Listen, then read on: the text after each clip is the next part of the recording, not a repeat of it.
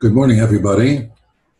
Uh, I'm Tom Bever, and I'm going to give a short presentation of uh, how we are working towards creating an undergraduate program in consciousness studies at the uh, University of Arizona. Uh, we um, know, we capitalize on the fact that everybody seems to know uh, what consciousness is, at least they can identify it when they see it, even if they can't tell you what it really is. So, the uh, Center for Consciousness Studies, that is the organizing sponsor of this conference, received a donation from Eugene Jhong to help us create an undergraduate program. And the first event of that was a course that we created uh, for last spring, a small seminar uh, for about 20 students uh, about consciousness studies. And uh, to populate it, uh, we attracted a number of uh, local faculty and some emeritus uh, faculty uh, from a wide range of disciplines, where each of them uh, felt that he or she had a particular perspective on how his or her discipline could contribute to our understanding of consciousness as a scientific object. And of course, the person who uh, we counted on, who was the only person we could find who had some general ideas about uh, consciousness uh, that are fully developed, was Stuart Hameroff, who is, as you know, centrally involved in organizing the conference. Um, so we proceeded. Uh, 20 of the undergraduates who simply signed up without really seeing much as to what we were going to do because ahead of time we were not entirely sure ourselves. But 20 undergraduates uh, signed up, roughly equally distributed between freshmen, sophomores, juniors, and seniors, four or five of each actually. And 12 faculty uh, were interested in each presenting a full two to three hour seminar uh, just with the students uh, to discuss what their particular discipline might tell us about consciousness and how to study it. The students were given readings ahead of time and also then sent in questions ahead of time with comments uh, to help guide the uh, upcoming presenter as to what he or she might want to focus on. When the classes actually ran, I actually left the room uh, because I didn't want the presenter, a co faculty member with me, uh, to spend any time trying to communicate with me uh, but rather to be able to focus entirely on communicating with the students and also uh, so that the students would not feel, if they were going to feel, uh, at all inhibited by my presence. Uh, so uh, we ran it as a seminar in the evening, kind of like the, the classic symposium, with some food to go with that, but unfortunately no wine. The range of invited presenters was quite broad. I'll just list them by general area. One was a general theorist of consciousness science. Uh, we had a presentation by a former head of the psychology department, who's also a clinician and now is a sensei uh, at various Buddhist centers.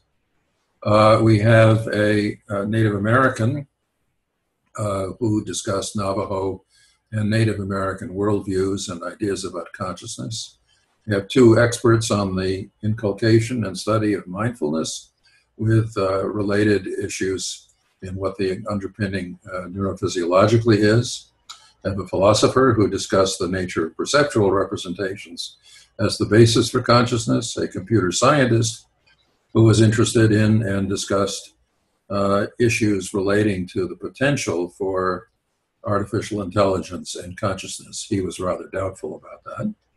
Uh, we have an ethologist who works here actually in our anthropology department, whose specialty is cognition and consciousness and related things in animals. A great deal of his research is on dogs. Uh, we have a researcher whose specialty is, as a clinician, interpreting but also understanding the basic mechanisms uh, involved in dreams and the dream state. Uh, we have a, a, linguist who's extremely senior, in fact, the leading linguist of the day.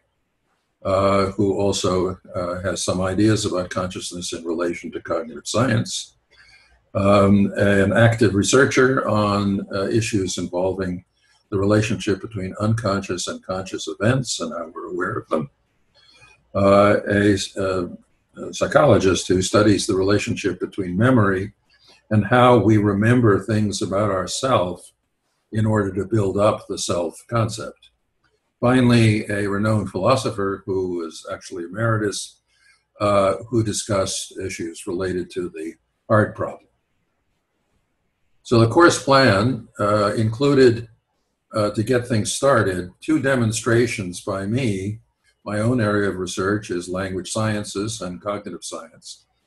And I picked on two demonstrations uh, to uh, make the uh, class understand that there is some deep science that's potentially involved in understanding how the mind works, but there are also phenomena uh, that we can be aware of consciously and rather in our everyday life uh, that remind us that there are some really deep mysteries worth trying to understand in consciousness about consciousness, and that there's some hope actually that with the tools we have, we might actually understand it.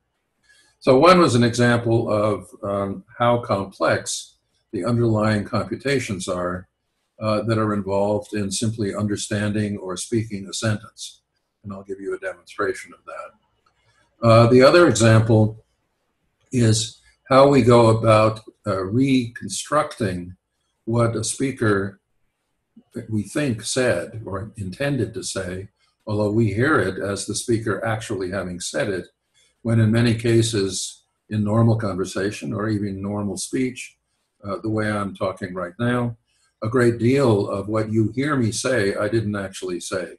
You are reconstructing it, and the interesting thing is that sometimes you're reconstructing it based on information that comes in later uh, in what I'm saying rather than at the time that you then back up, uh, at least phenomenologically, and reconstruct it. And I'll give you an example of that. So, first, what happens in the mind when we actually do something as everyday as understand a sentence? Well, the question is from the standpoint of linguistics and language science what is inside a sentence? What is the structural organization of a sentence that makes it a sentence that actually communicates propositional meanings, not just isolated words or very uh, simple, uh, blunt, uh, single word statements? The answer is syntax, which I'm sure many of you know or are familiar with as a concept, that involves, among other things, uh, structured hierarchies. You can think of it as phrases, uh, but that uh, these phrases are, you'll see, very complexly structured and constrained. Um, and what I'm going to play you is a model of just what goes on in uh, the construction, internal construction uh, when a, an individual sentence is understood and the structure is assigned to it. This is provided by a former student of mine, Mansei Sands, uh, who is now a professor in Kobe, uh, Japan. So uh, she uh, constructed a model, a, a, depiction of the different stages of assigning a structure to a sentence. And it involves a number of different processes and operations. So she gave each one a particular characteristic sound so that when you see them all operating in sequence and you hear them all operating in sequence, you get a picture of how things are built up.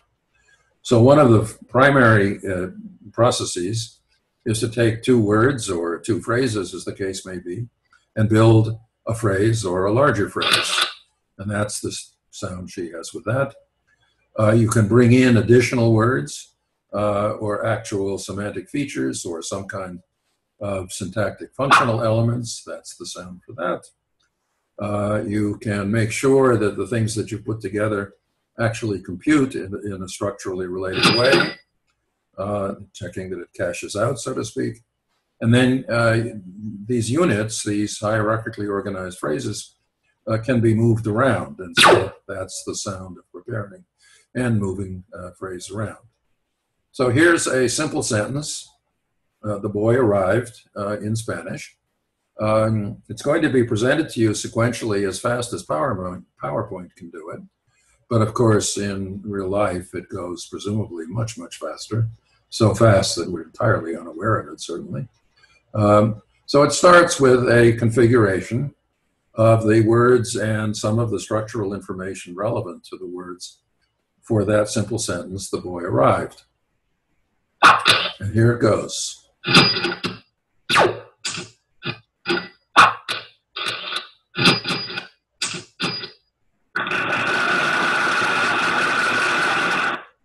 So that's the structure, and that's the pronunciation, pronunciation of that word after all of that computational work. Now, this model may be wrong uh, in detail. I'm sure it is wrong in detail. It's the latest analysis that we have available within uh, from linguistic science, uh, and it represents a great deal of progress over the last 50 years. But no doubt uh, there will be changes. But the point is that some model like this has to be at issue uh, that uh, puts together words and obeys various kinds of constraints, all of which we are totally unconscious of. So here's an example of a lot of mental work that gets carried out, and we have no idea of how to access it internally directly in our own intuition. We only know the result, and we know about it at all because of the science uh, that explores it, just as in the case of many other sciences. The second example that I gave the students to get them oriented towards the general problem of consciousness science uh, is uh, from everyday experience. And in this case, the everyday experience is uh, what happens when you understand normally uh, uttered conversation in the kind of way that I'm talking right now. Uh, and one of the interesting phenomena that we came across, really quite by accident initially, um, is that in some cases, you put together, the listener puts together information that comes later in a sentence with uh, auditory information that came earlier. And the important feature of it that really is quite striking and still quite baffling is that listeners think that they assigned the word structure and some aspects of the meaning simultaneously with the initial bit of acoustics uh, that they were presented with all at the same time. But we know that that isn't always true, and I'll give you a demonstration of that. What it leaves us with is two ideas, two, two alternatives, probably more alternatives, but I articulate two of them. One is that consciousness phenomenologically is retrospective. And there are various theories that, as you know, uh, that um, discuss that as a concept. The other more intriguing, probably less likely to be true, but much more important if true, is that these kinds of phenomena of backwards uh, influence on something that came early uh, without any awareness that that's the case uh, is that uh, miniature, what we'll call them, time reversals, whatever the mechanism would be, of course, is left open. But the notion that uh, momentarily, so to speak, uh, the, our mental life involves time reversals. And then, of course, if we can back that up with some other kinds of studies, then the question is what the possible mechanism of that might be. This woke the class up for sure. Um, and what it woke them up to is what I wanted, namely that in understanding consciousness, we actually can refer to everyday phenomena uh, that uh, are actually tractable uh, in the case of language, we have a rich theory that I gave you the examples of in the first demonstration.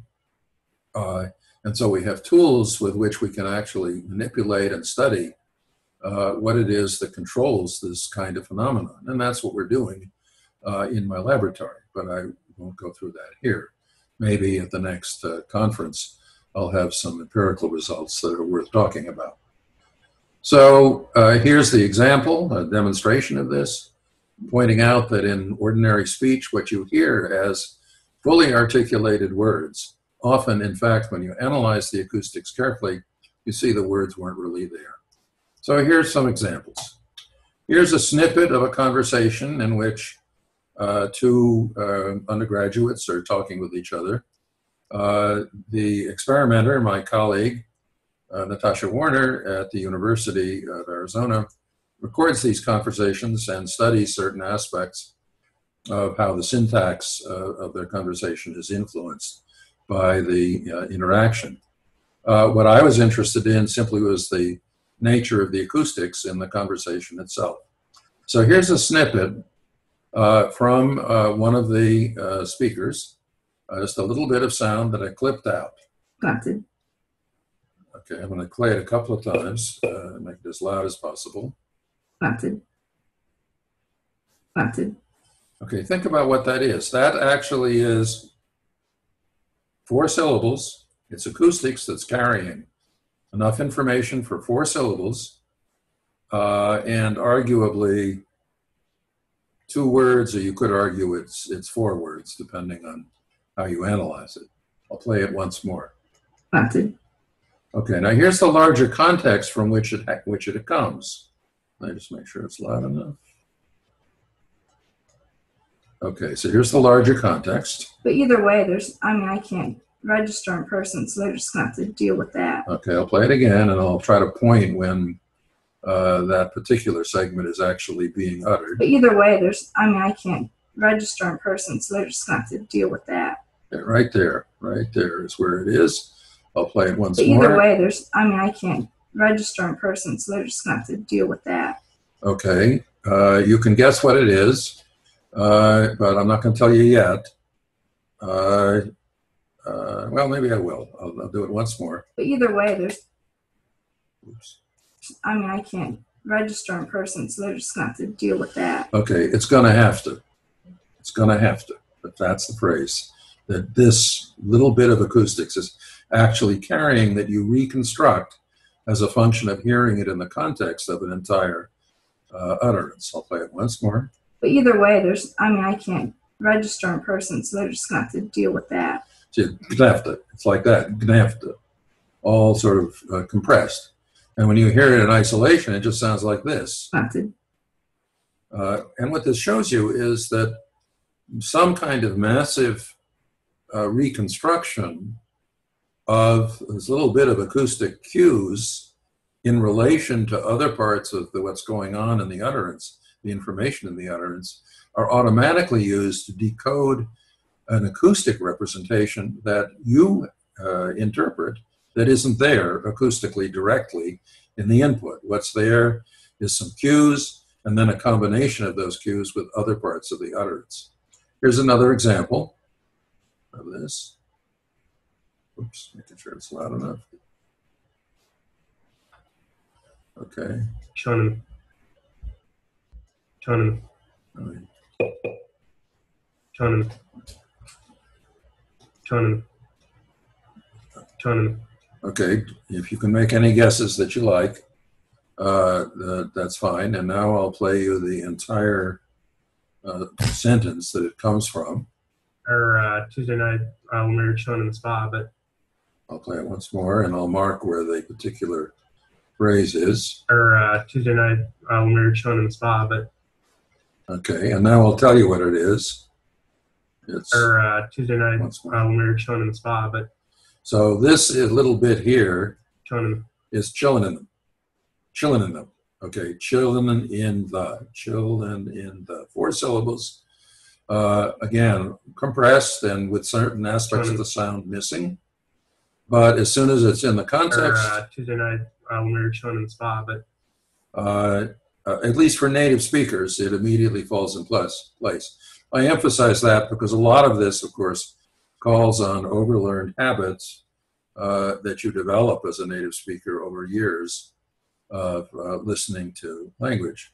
Now, these examples that I just played, this, this is the, simply a, a text for it. They're going to have to uh, and uh, chilling in the.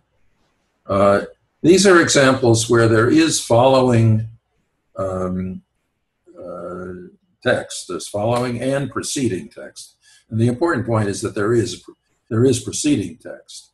So you might But think either way, there's, I mean, I can't register in person, so they're just going to have to deal with that. so. There's a lot of pre you know, they're easy- can't register in person, so they're just gonna, and then you're gonna have to. Then you get there.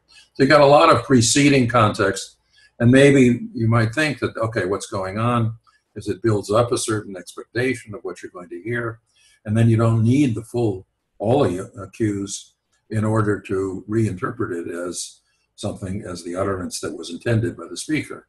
Similarly, here, Or uh, Tuesday night uh, when we were chilling in the spa, but okay, not much preceding context, but it's Tuesday night when we were, and then chilling in the. In this particular case, I think that what follows is much more important. And actually, we studied studied that a little bit. Uh, that if you just present what follows and in uh, chilling in the spa, uh, that actually that's sufficient all by itself or uh, Tuesday night uh, when we were chilling in the spa, but uh, to that the in the spa is uh, all by itself sufficient to actually clarify the chilling in them. Uh, but here's an example where it's more explicit that there can be backwards processing. Uh, in other words, where later information actually clarifies the earlier part of an acoustic signal. Uh, so here's um, a piece of an utterance. That's also four words, by the way. Unfortunately, I think that um, PowerPoint tends to speed it up when I repeat it, but try again. Oops. It's disappeared. Just a minute. Ah, that's why. Okay, try once more. Okay, here's the full utterance. And notice that what I just played you is the beginning of the utterance. Uh, now you'll hear the, the fuller sentence with that little bit that I played you plus what follows it. I just lost the cursor. There we are. Okay, here we go again. you have time to talk to me for a little while? Okay, again. You have time to talk to me for a little while? So it's do you have time? Do you have time? But of course, it's not all spelled out. It's it's this little bit. Oops, that's really too little. you touch, you touch, Well, uh, as I said, the uh, the system is playing it too fast now.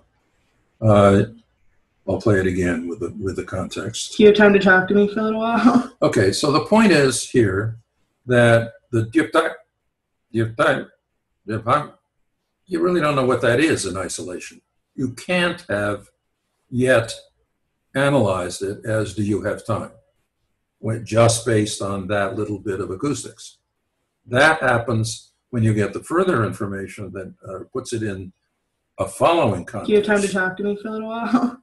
Okay, and that's the important point. th- th- This very interesting phenomenon that is pretty common. I picked out some particular examples, uh, but as we've been working on it more and more, uh, we see that it's not at all uncommon for information that comes in later, be it acoustic or semantic or syntactic, uh, can play an important role, a critical role, in clarifying what some bit of prior acoustic input actually was intended to be by the speaker.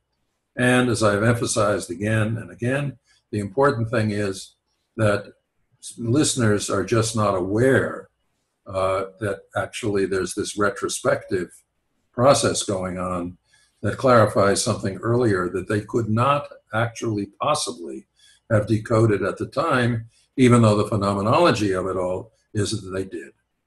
And so this is, as I said, an example of what we can intuitively call backward processing that escapes awareness, uh, awareness that there's backward processing. And that's a very interesting puzzle. And as I said at the introduction, in the introduction of this particular demo, it leaves us with some possibilities and many possibilities, but the one that I emphasized for the class uh, included that consciousness is reconstructive, uh, that we're a little bit behind uh, in our phenomenology sometimes, uh, which makes one wonder why there aren't more car crashes if it's true. Uh, but it is a position that a number of distinguished uh, theorists hold anyway. And then there, as I said, the more daring idea uh, that there, uh, what's at issue here is some kind of uh, warm, uh, not a nanosecond event that occurs in supercooled laboratories, but a warm temperature miniature time reversal, raising a lot of interesting questions once we do more behavioral and phenomenological research to really nail it down as to what the parameters are that control it. And as I said, that's what we're working on. Anyway, this woke up the class as I wanted it to, uh, to the idea that consciousness is something that is part of everyday life. Everybody sort of believes that. But here's an example of an aspect of it that is very ordinary, uh, but that nonetheless, once you look into it with a little bit of more detail and a few analytic techniques, uh, you realize that there's a big mystery here. Uh, and that it's definitely shows us that there's a big problem if we didn't know that anyway. Uh, and but that in this case we've got a handle on at least a small part of the big problem. So the course went on. Individual presenters attended and gave their own spiels, uh, and uh, the students gradually caught on. Uh, and uh, this is a course that met once a week for two to three hours, as I said. Uh, and the presenters really liked the format. They liked the fact that they were all alone uh, with just the students, and the students liked that too. And um, the course went on for about half of the term. Then uh, suddenly, as we all know, and the entire world has experienced, COVID 19 fell upon us and really had a big impact in many ways. So the class continued, but uh, the university closed the campus, and so the class continued online uh, and with Zoom. Uh, and uh, presenters adapted to this, and so did the students. And it did cut into some of the uh, dynamic of the uh, class. Students were just beginning to get to sort of know each other's style, and it was becoming more interactive at a personal level, and the Zoom method kind of interrupted that. Uh, and that raises some questions about how to work with Zoom in the future because it's likely to be in our future. Uh, but they adapted, and there is some uh, reason to be encouraged that uh, this general kind of format uh, we will learn how to manage so that it works well, even in a seminar setting. But as I have to point out, in this case, not just no pizza, not, not just no wine, but also no pizza. At least whatever they had at home, but we didn't take charge of that. So by the end of the presentations and the end of the uh, term, the major assignment that students had, aside from reading, doing the readings before each presenter and submitting some questions, uh, the real assignment was to, we had hoped, to attend uh, one or more plenary sessions of the upcoming uh, uh, the Science of uh, Consciousness conference that was slated to uh, occur last April. But because of the COVID, it did not.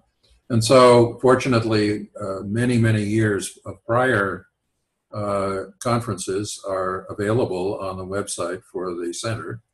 And so, their job was to pick a plenary uh, with all of the videos and discussion that followed the videos, and to make a report on it for the class, uh, along with uh, any commentaries or questions or criticisms uh, that they had of it. Uh, and uh, I want to remind you again, before I give you a few examples, that these students were freshmen and seniors, freshmen all the way to seniors. And uh, a couple of examples that I'm going to present you with represent a freshman, a junior, and a senior. And I'm not going to tell you which one is which because I don't think you could tell, actually. You might actually make it the wrong guess.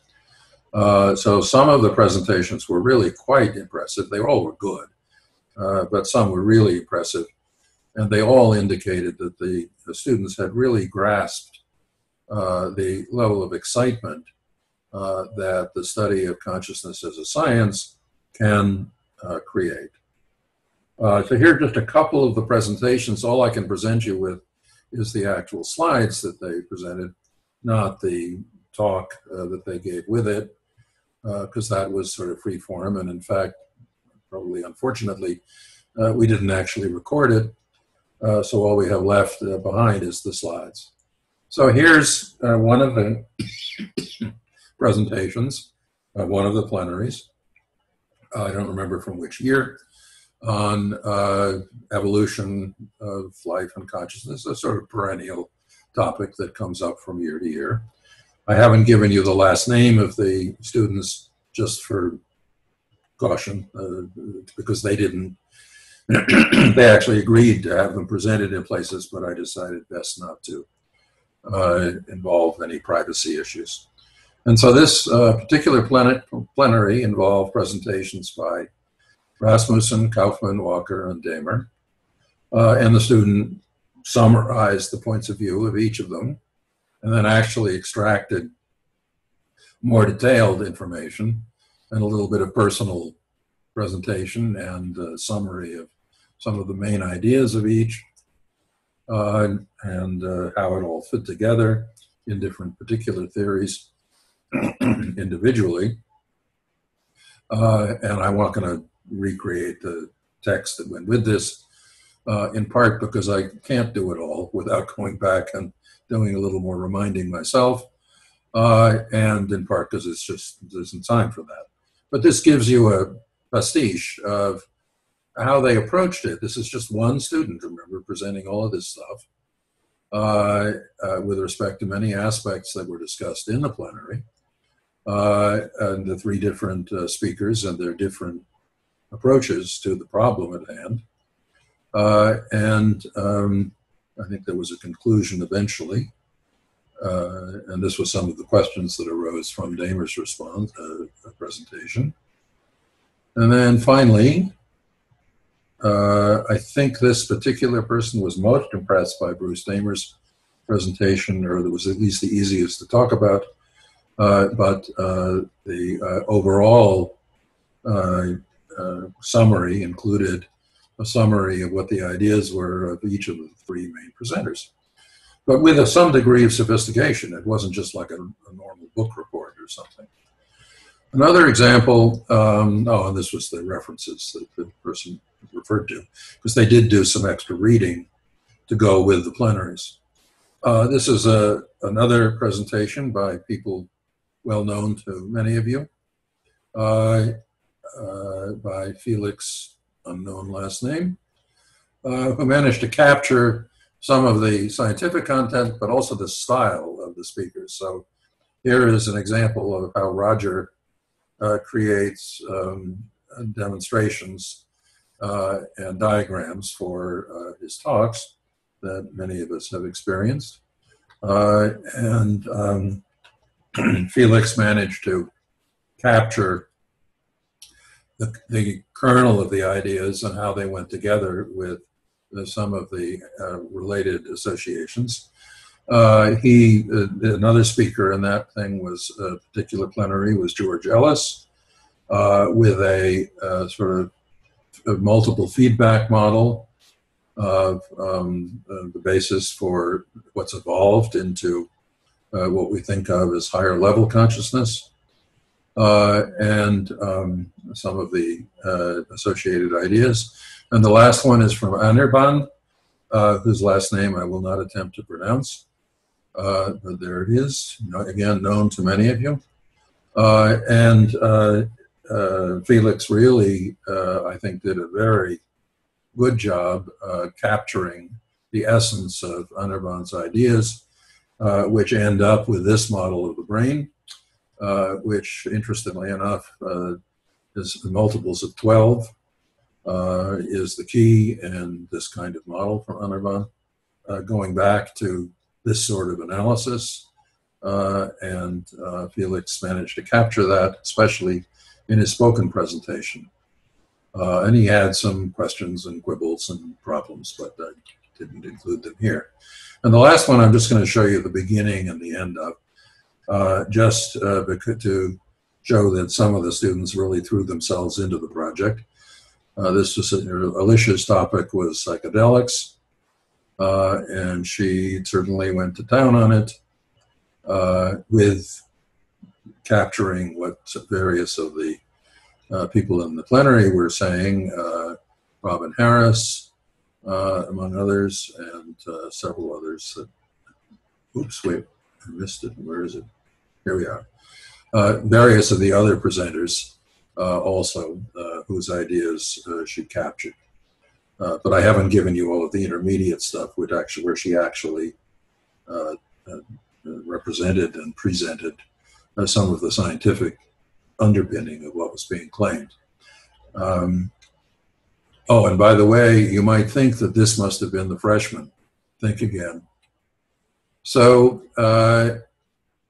how did the students like the class? Very simple.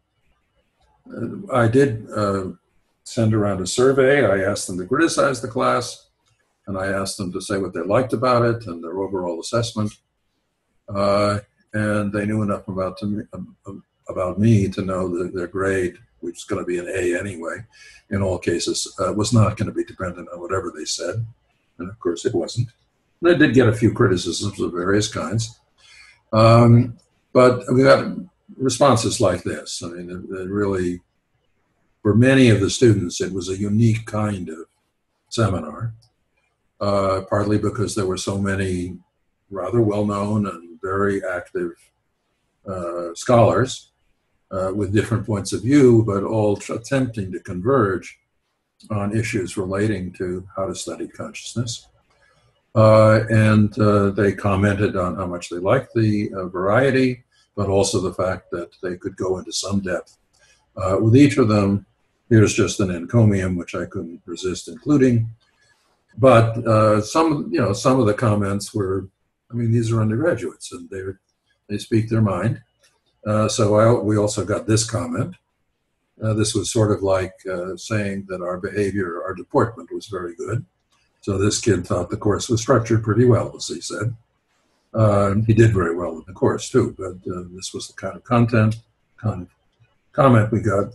Others wanted there to be more interaction of certain kinds, uh, and uh, there was that kind of criticism. Uh, but in general, there was uh, happiness with the course overall, and recognition that it was really unusual with respect to what they usually get exposed to.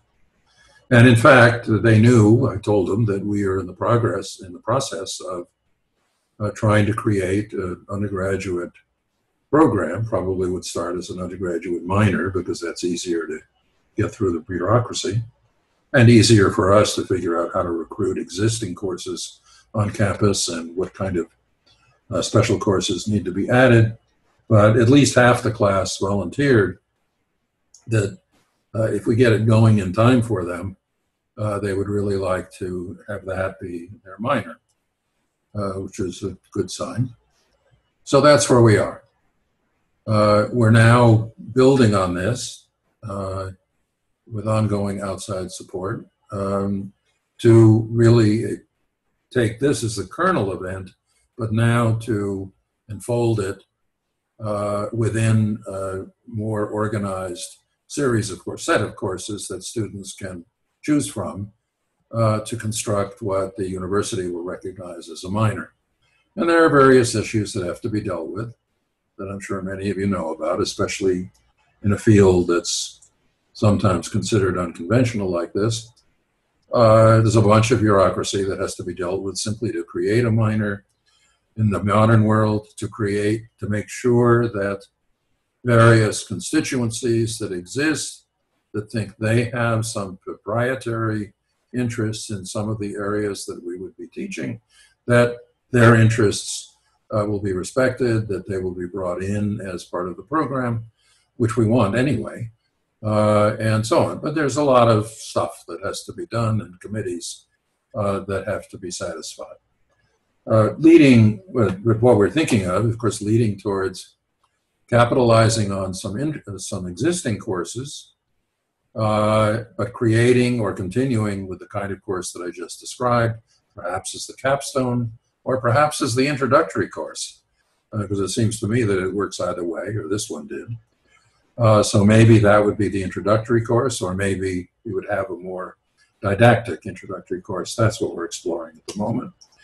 Uh, we want both uh, kinds of students, uh, students who are eclectic and not necessarily interested in writing an undergraduate essay or thesis or anything like that, uh, so that students who are uh, I guess we could call them regular students, that's what I call them here, uh, can uh, enter into the um, minor, but also for honor students who want to uh, go into depth uh, more uh, as part of their undergraduate training.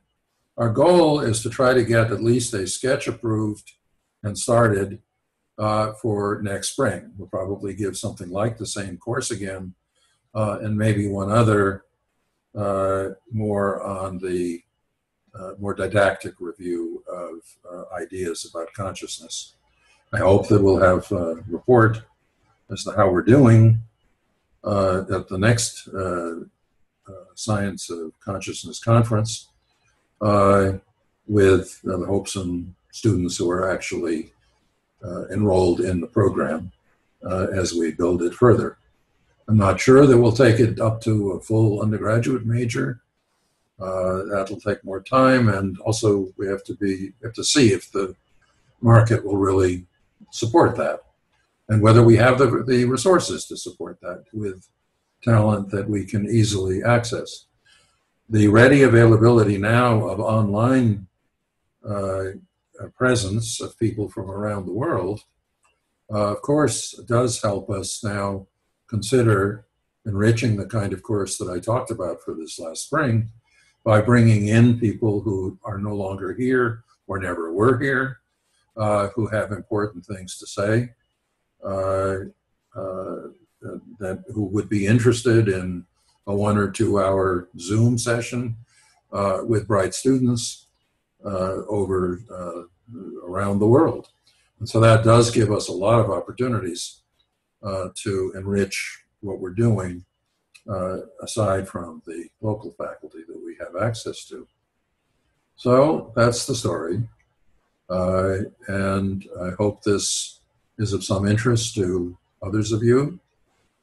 I was quite startled, really, I have to say, because my own background is uh, not in consciousness studies usually, and I backed my way into it because of some of the phenomena that I, uh, some of the demonstrations uh, that I gave you that made me uh, realize that not only is this an exciting area, but that some of the tools that I know how to use, which are both experimental and theoretical with respect to uh, careful analysis of language structure and how language behavior and language processing works, uh, that with those tools, it may be possible in my own research to make some progress.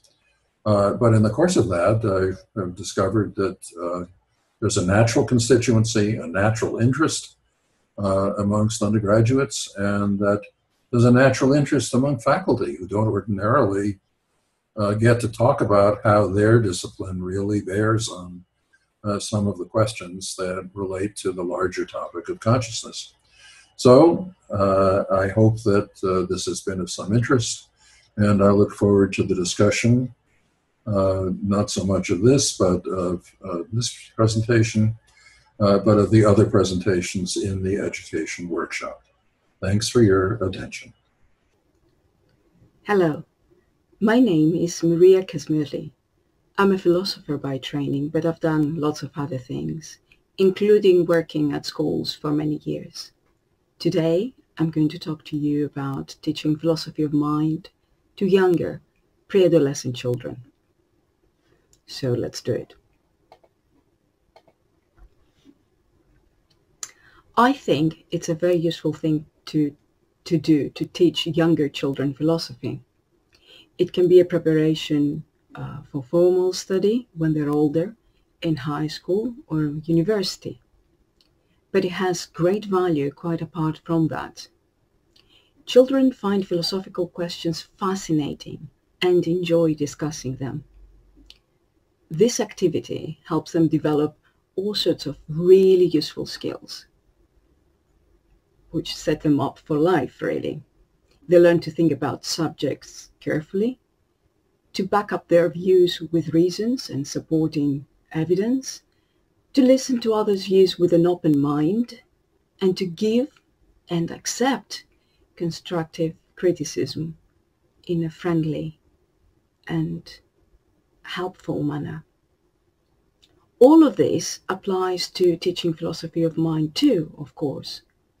Children are naturally curious about what the mind is, how it works, whether their pets have got minds and what are these like, whether robots have minds, and so on. And they love talking about these topics. However, I think there's a problem in doing philosophy of mind and, in fact, of consciousness with younger children. The problem arises because of the way we do it, or rather, the way I think we should do it. I will explain what this way is and then say why it can be a problem for teaching philosophy of mind. In doing philosophy, the key thing is to get students to develop an open mind, to reflect on their own beliefs, attitudes, assumptions, to look at things from different perspectives, to compare these perspectives with their own, and to think about the advantages and disadvantages.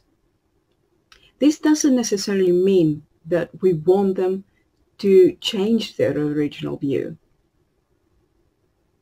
After exploring other perspectives, they may decide that their first view, their original view, was the best after all. And that's fine. But it does mean that they get to consider all the different options and the strengths and weaknesses of their own position. That's the important bit of it. Now, adopting other perspectives isn't easy, isn't always easy at least. All our experience has shaped us to take a view, and we're naturally inclined to defend and argue for that view and against the view of all the rival positions. So here is where I think imagination comes in. it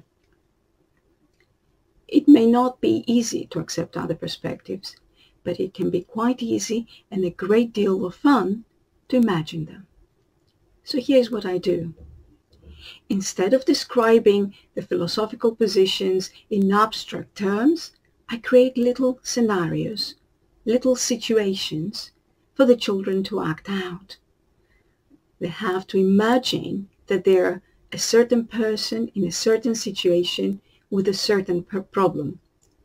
These scenarios are so designed that it's natural for the children, for the characters in them, to ad- adopt a certain perspective or view, the one I want them to consider. Then I ask the children to act this out with as much feeling and energy as they can so that they can identify with the characters they're playing. They enjoy this, of course, and I tell them that, you know, I never expect them to have particular uh, reactions or to adopt any particular view.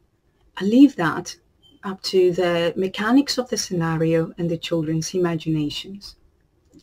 Then when they've done the exercise, we stop, sit down as ourselves again, and reflect on the trip we've had, on the imaginary situation. if it's worked, the children will now bring a new perspective to the discussion than they did before. And I call these the SIR method for the three phases, uh, scenario, identification, and reflection. Now, in many areas, this works really well. Take ethics, for example it is easy to create everyday, natural kind of situations which present different viewpoints and difficulties and challenge the children's pre-existing intuitions. Using these scenarios can help children appreciate a variety of different perspectives on the same problem. then why do I say that this creates a problem for doing philosophy of mind? After all, philosophers of mind and indeed of consciousness use a lot of imaginative examples. They ask us to imagine what it is like to be a bat, to wonder what would happen when Mary leaves her black and white room, to conceive a creature that looks and acts just like us but has no consciousness. So you might well think that my method would work just fine with this topic. The problem is that these scenarios are artificial, they're unnatural. When it comes to thinking about the mind, we do not have a sound basis of everyday intuitions to draw on, as we do with other areas of philosophy, as I said, ethics or politics, or even religion. and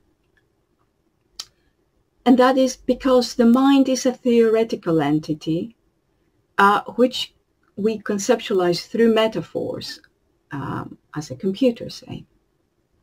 And the thought experiments we use often serve to create intuitions rather than to test them.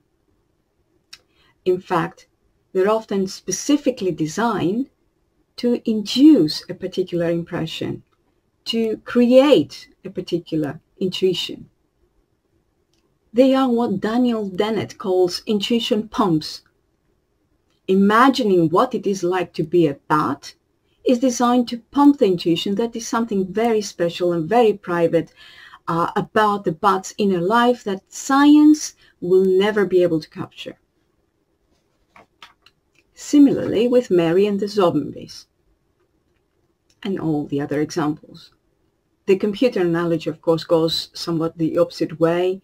Uh, it's designed to pump the intuition that the mind is a machine. These imaginative experiments do the opposite of what I'm trying to do.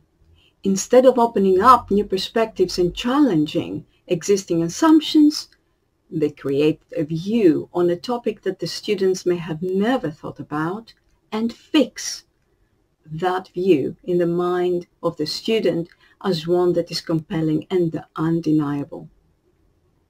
The result of this is that by introducing children to these metaphors, we can end up inadvertently installing there in their heads a certain theory of what the mind is, which they find very hard to criticize or move beyond. In short, the very method that can work to open up kids' minds in other areas to help them think in a very uh, open-minded way can work to close it down in philosophy of consciousness.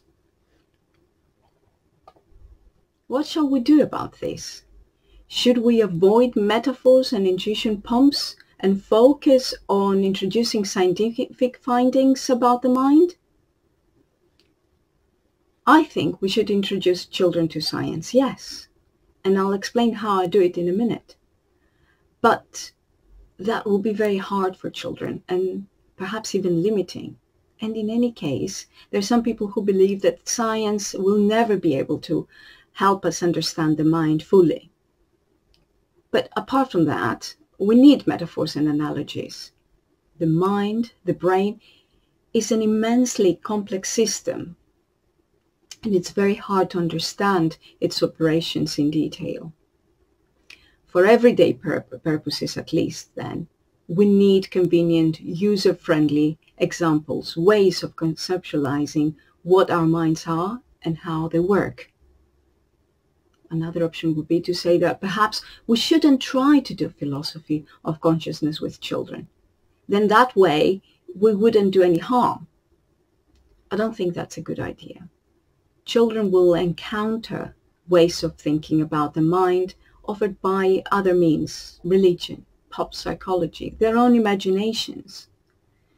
So they, they'll inevitably come to think about the subject and we want them to have the right tools to do it really well. Here's what I suggest. I propose we use the imagination-based method I recommended but in a more student-centered way. Instead of presenting children with standard scenarios and thought experiments, we ask them to brainstorm. We ask them to come up with imaginative ways about what the mind is and how it works. about what seeing, hearing, feeling, thinking, and consciousness are, using as far as possible common everyday language. They may draw pictures, diagrams, suggest comparisons, or even propose original uh, scientific theories. It doesn't really matter too much about what their suggestions are. They may even be fanciful. They may wonder uh, if there are little people inside our heads like numbskulls, whether there's a soul that does uh, operates uh, and does everything in my head, whether the mind is like some kind of fanciful clockwork or like a laptop computer. Children, children enjoy this and they come up with all sorts of wonderful ideas and unexpected comparisons. One of my students suggested the mind is like a factory which is operating when we're awake and closes down when we go to sleep. He even said that uh, people are, are in a coma because the workers have gone on a strike. As I said, the initial ideas themselves do not matter too much. The important bit comes next. The next step is to get students to reflect and evaluate each other's suggestions. Is this a good image of the mind? what gets what what does it get right? What does it get wrong? Is it misleading? Is it helpful? Is it useful? Of course the students are still going to draw on their intuitions uh, in the process of assessing suggestions. But we're not pushing those intuitions in any one direction. That's the crucial bit and more importantly we're encouraging them to take a critical attitude to to this metaphors, images, analogies, thought experiments, uh, and theories in the area. We want them to realize that it's a matter for discussion, what the right image is, what the right metaphor is, what are the right questions to ask, and what options should be considered. In short, we want them not to just imagine different answers to the problems of the mind, but to imagine different conceptions of what the problems are. The final step is to add new information to the mix. This is where I think we can use science. After a round of brainstorming and evaluation, the teacher provides some basic information about the mind drawn from biology, psychology, uh, neuroscience, behavioral science, um, and you know, things like how do the nerve cells work or how the attention and limits of visual experience work, uh, about the overall structure of the mind. The children think about this information and then they have another round of brainstorming and another round followed by another round of evaluation and critical kind of assessment and so on. You repeat this as many times as you need to. So I'm suggesting then that with younger children, we should avoid traditional ex examples and thought experiments and adopt a three-stage process of brainstorming, peer evaluation, and information acquisition. The teacher will explain the aim of the process and say that it's to find a useful but very simplified model of an extremely complex system. Then hopefully when the students later encounter the ideas of professional philosophers, they'll see the connection with what they used to do in their very first philosophy of mind classes. They'll see that philosophers of mind are offering also very simplified models designed to reconcile our everyday intuitions with what the science tells us about the nature of, of us as biological systems. With luck then, our students will come to take a more critical view of the way the problems are framed and thought experiments are used. So instead of asking, what is it like to be a bat? They may ask, what can we know about what it is like to be a bat?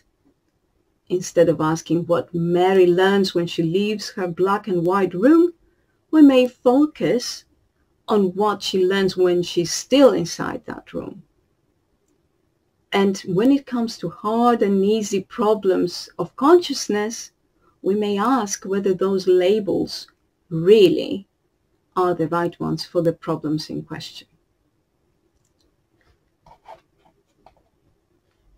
So that's the theory behind my approach.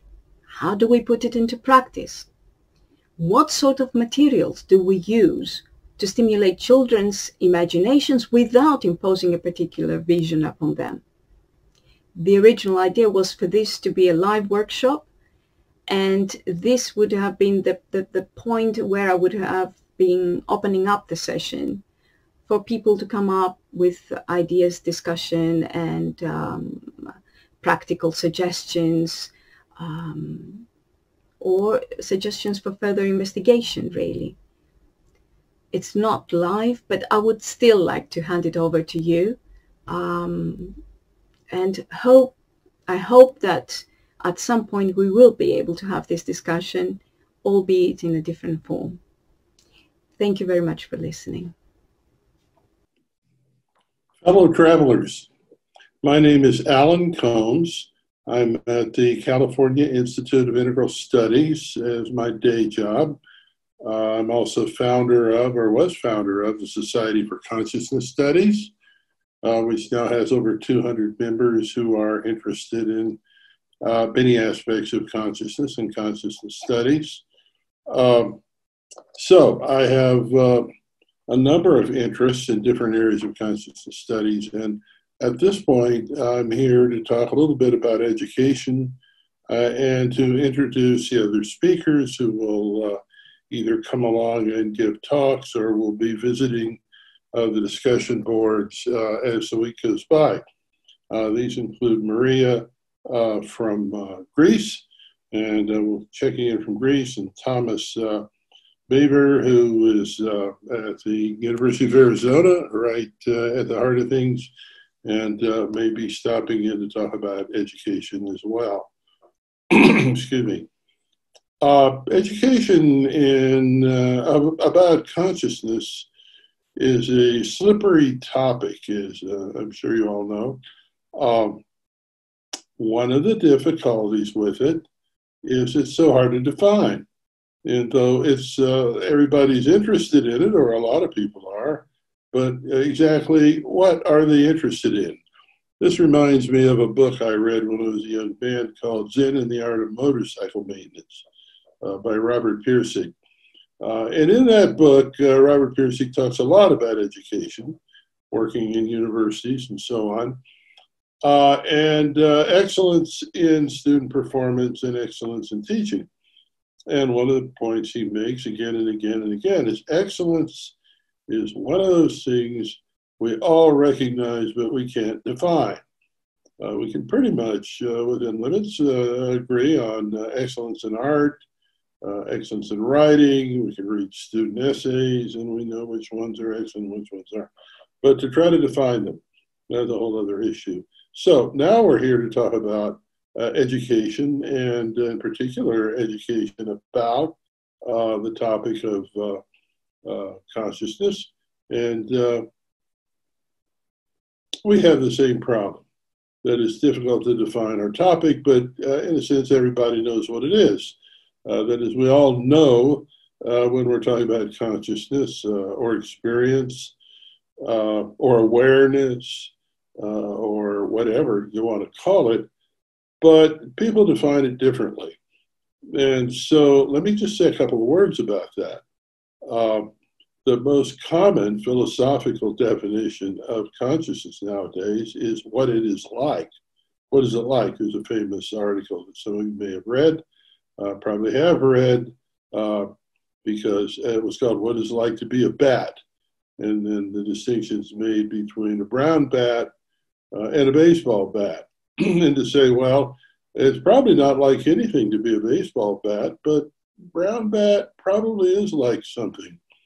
And if you have a dog or a cat, and you watch the dog and cat and interact with it, you probably uh, are perfectly comfortable with saying it's probably like something to be Roger the dog or Mary the cat. They certainly act like it's something to be them. Uh, they seem to enjoy certain activities and uh, uh, shy away from others, and have a lot of features in common with human beings. So that's a very basic understanding. And uh, if we're going to teach about consciousness uh, to undergraduates or graduates or anyone else, uh, you need to kind of get clear as to what definition one is, is doing. Uh, I've written a couple of articles about this, in fact, but I didn't bring them along with me today. Uh, but is it something like, is it like something to be a bug, for example? Uh, or is it like something to be a intelligent robot? Um, these are all the kinds of questions that come up around the study of consciousness and, and what it means. Uh, I tend to stick to the very basic idea of what is what is it like, or what it is like, perhaps we say. What is it like to uh, eat a, a mm, chocolate uh, pecan pie with particular taste, particular quality, and so on? Uh, what is it like to eat an apple? Uh, we talk about the taste and so on. But if you get involved in the literature and the writing about it, especially over the last few decades, uh, the word consciousness will have different meanings depending upon the author. And it's, uh, it's important to keep that in mind.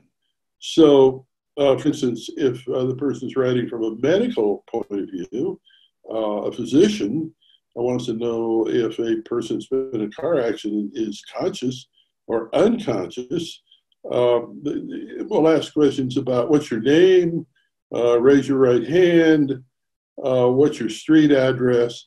This is uh, real uh, basic uh, consciousness testing, if you will, or uh, if the person is aware of where they are and, and, what their situation is. So that that's a that's very similar to the notion of being awake. Is this person awake, or are they in a coma? Or are they knocked out? So just being awake is sort of the basic raw business of human consciousness that a physician often will be uh, concerned with. Uh, on the other hand, if you read the neurological literature, uh, actually from a few decades ago, particularly, uh, consciousness is uh, stratified into real basic uh, wakefulness of some kind that animals seem to have but uh, they sometimes call higher level of consciousness, which is they're really talking about self consciousness. And so when they say an animal is not conscious in the same way human being is, they mean self conscious. Is your dog self conscious? Does he know he's a dog, for example? Uh, is he aware of his situation? Generally, the answer is no. In fact, uh, outside of human beings and perhaps a few advanced mammals, it's unlikely, it seems to me, uh, that other species on the planet Earth are self conscious. If you're self conscious, then you worry about things like death, uh, about your own future, and you uh, have a sense of compassion for other people, understand that it's like something to be them. Although it would be wrong to say other animals don't have uh, compassion, in that sense. Primates, for example, uh, understand when others are hurt, sometimes take care of them, uh, and so on. So there are all these different ways of thinking about consciousness, and for the most part, uh, when I talk and write about consciousness, I emphasize what is it, what, what's it like to be this person um, in this situation uh, this species, and so on. Or for a robot or a computer, is it like anything to be a computer? Or is it like the baseball bat, except maybe with fancier controls? Uh, and then there's still another level of consciousness, if you will, or way to talk about it. And that's when we get into religious and mystical talk. And so if you're reading Eastern literature uh, or mystical literature, then consciousness uh, is uh, more of a pervasive quality. And if you're a panpsychist, for example, uh, then you uh, view consciousness as a sort of diffuse feature of the cosmos. And some physicists actually do this. Some physicists uh, actually uh, view consciousness as a quality or maybe pre-consciousness, as they sometimes call it, Uh, that's uh, imbued in uh, all, all of nature in some way or another. So even um, quantum particles uh, that are unpredictable in their behavior are in some sense making choices.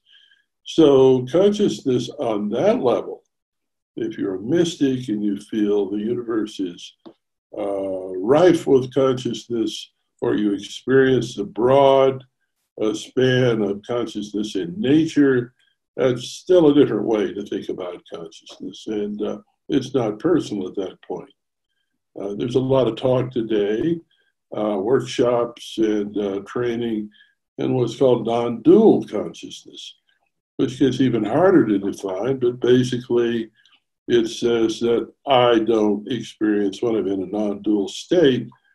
I don't experience myself as separate from the cosmos around me, so that I'm one with everything. Well, that's really quite different than what neurologists neurologists talked about for so long, uh, asking the question whether an animal is conscious or not. Meaning, does it have this uh, metacognitive, if you like, sense of what it's like to be there?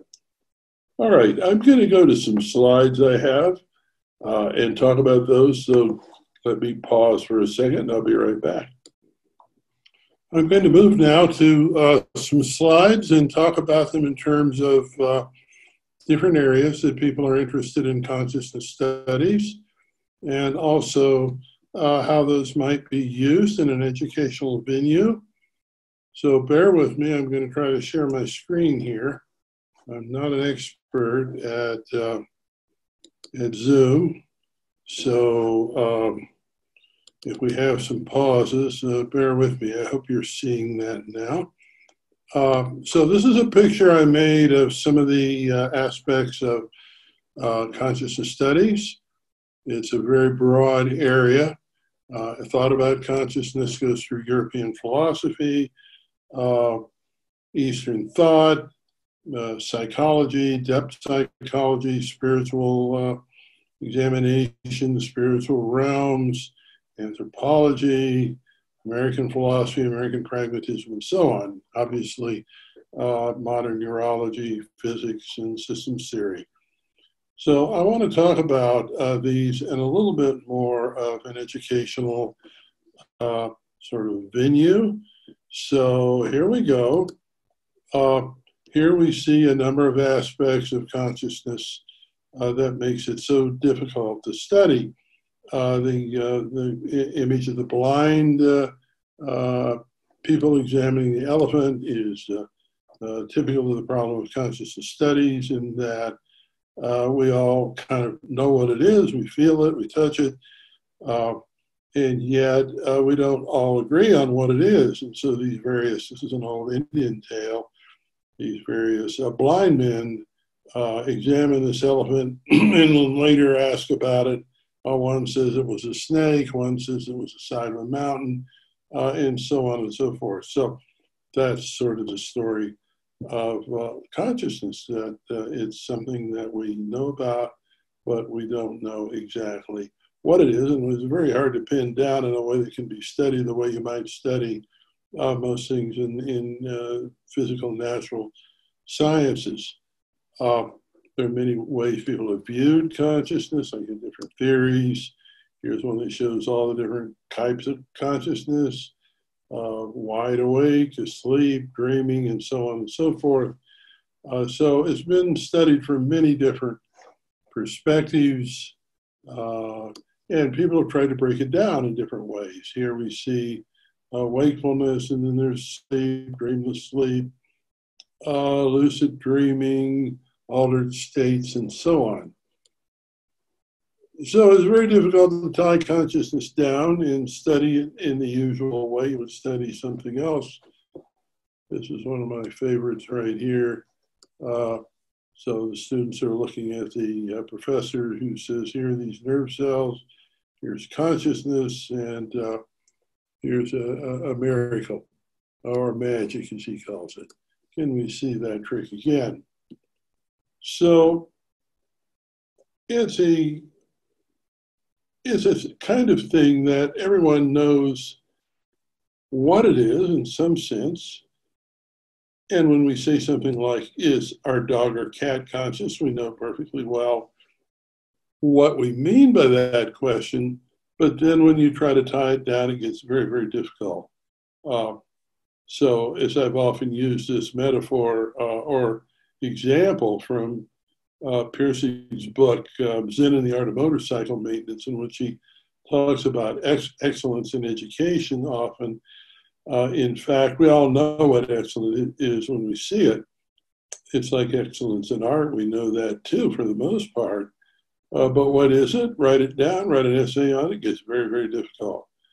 Uh, so there are different ways to view consciousness. One of my favorite uh, is, in fact, an old one from Charles Tart here, in which he said there are different elements. So in any state of consciousness uh, or mood, we have these different patterning forces, such as humor, uh, sensory input like music or something we might taste, uh, and uh, thought processes that influence the way we see things so these all uh, form uh, patterns in the mind that structure our experience of consciousness. And then we have disruptive uh, forces as well. The phone may ring when you're in the middle of trying to meditate, for example. Uh, you may get an upset stomach. Things can happen that are disruptive uh, to any particular state. Charles wrote this whole book called uh, States of Consciousness, in which he he tried to show that uh, uh, each particular state of consciousness is uh, comprised of a number of these different kinds of elements our thoughts, our feelings, our sense of humor, uh, emotions, sensory input, and, and so on. Okay, so continue to examine some of these different ways to understand consciousness. There's a lot of history we could talk about, and I won't bore you with most of it. Uh, but if you study the history of the mind or history of philosophy, uh, one of the interesting things you discover is that consciousness, the way we talk about it today, was practically invented by Rene Descartes in the 1600s. He was the first person to really about, write about consciousness as an inner uh, presence, an inner experience that uh, we can uh, characterize and uh, map out and talk about. Uh, John Locke, the British philosopher, picked up on that almost immediately. Uh, other philosophers, such as George Berkeley,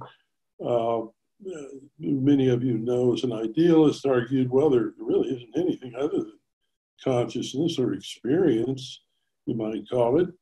Uh, anything you look at, no matter what it is, you only know about it through experience or your consciousness. And so, how do you know it's really there beyond that? So, he was an idealist. He basically argued that everything uh, that we know is conscious experience. Uh, that's uh, a bit extreme, and uh, it's, it's, a fairly consistent point of view if you want to follow it. You can make a good argument for it. But I want to mention that the idea that consciousness is uh, a feature of the mind, of the inner life, uh, was really invented by Descartes. That doesn't mean people before that didn't talk about feeling good or feeling bad, or that they didn't talk about uh, experience in uh, things that were beautiful, beautiful and not beautiful. But uh, the idea that consciousness was a feature or even a thing of the inner life came with Descartes. And it's created a lot of confusion because, uh, like quality, it's nothing you put your finger on, and you can't really find it anywhere. Uh, so there have been a lot of efforts to find where consciousness is at. Is it in the front of the head, back of the head? Is it in the heart?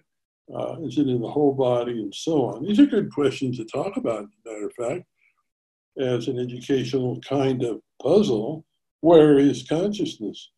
And if it does, and if we can't localize it or talk about where it is, what sense does it make uh, to talk about it as if it were something uh, that were somewhere? Uh, we know that most Americans or most Europeans put consciousness in the brain. They'll point to the head if you say, "Where is consciousness?" But uh, then beyond that, you can't really pin it down much. so consciousness or experiences seems to be, but be where, be, but where it's being is, is a real puzzle. And we know that different parts of uh, our mind and brain are necessary for consciousness, but does it mean that consciousness is actually there? Uh, I'm reminded of the story of the uh, father who took his son to the baseball game. And when they came home, the son said, Well, uh, I saw the pitcher, I saw the pitcher's mound, I saw uh, the, uh, the, the game field, I saw the, the, uh, the banners. But the team spirit, I got, where was the team spirit at anyway? Well, team spirit is no place that you can localize. And consciousness is a bit like that. And one of the points I want to make over and over again is without this ability to measure and locate consciousness, it's been very hard to bring it into the uh, realm of academic study or any other kind of study, even though it's tremendously widely a matter of interest. Uh, okay, so I'll talk about some areas that we do spend a lot of time with and which are well represented in academia. Uh, that uh, consciousness virtually permeates. One of them is cognitive psychology. Cognitive psychology is the study of mental processes, really. Uh, here's a good example thinking, problem solving, memory. How's memory organized anyway? we don't just, uh, you know, in an ordinary from moment to moment living, uh, information comes to us as we need it. But if you're really trying to get into memory, uh, for example, if you're a chef, uh, how do you remember all the different kinds of fish and ways to cook fish or shellfish, for example? Or if you're a computer programmer, uh, maybe you're working with a particular program type. Uh, these things aren't all in your mind all the time. You have to get into them. Somebody walks up uh, to you on the street and asks you some difficult question, uh, even in a field that you know a lot about, like language or computer programming, how to cook shellfish, or what kinds of paints are best for particular kinds of uh, uh, work, art, artistic work. You probably can't answer them just instantly. You have to think about it a little. And the more you think about it, the more facts come to mind. Uh, I used to notice this when I was a undergraduate teacher and would lecture uh, regularly, is that I would go to class uh, with some topic I wanted to talk about, and I would have a general idea of the topic, and I would have some notes. But uh, the interesting thing was that the longer I, excuse me, the longer I uh, talked about the topic, uh, with students, the uh, the more facts that would come to mind. That is, it, as the topic became familiar. So, excuse me, I'm having trouble with my earphones here.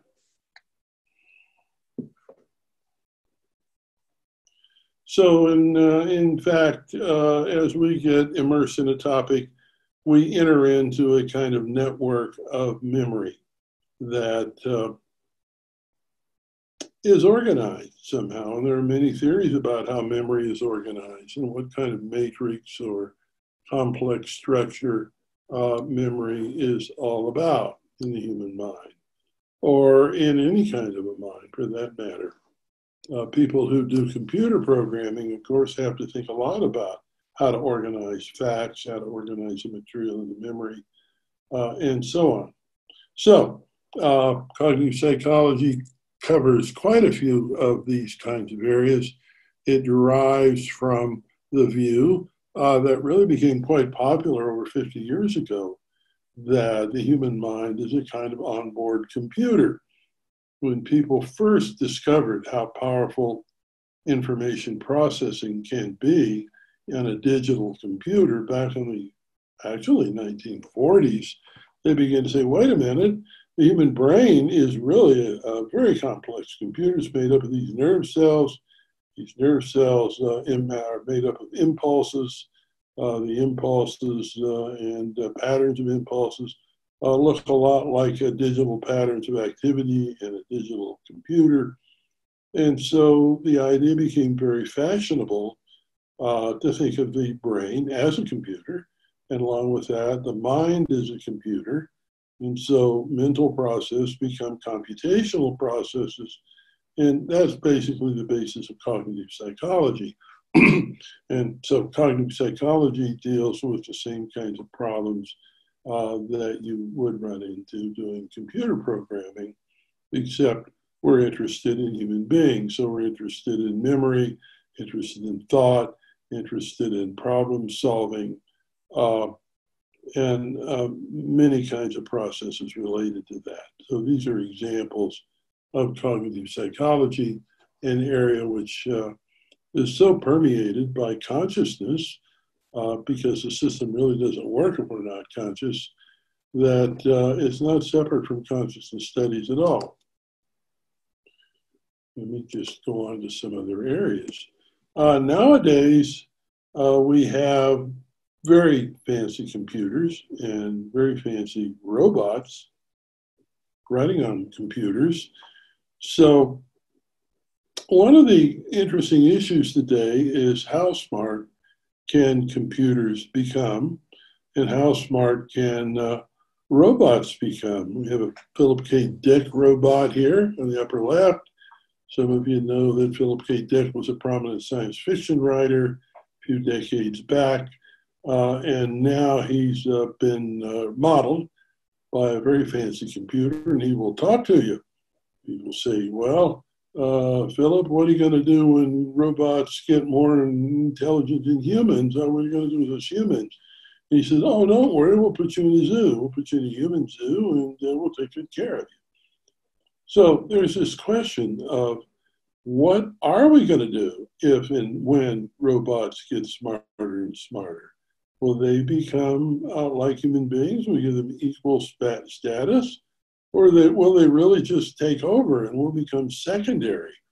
Or how are we going to deal with this? And what about ethical questions?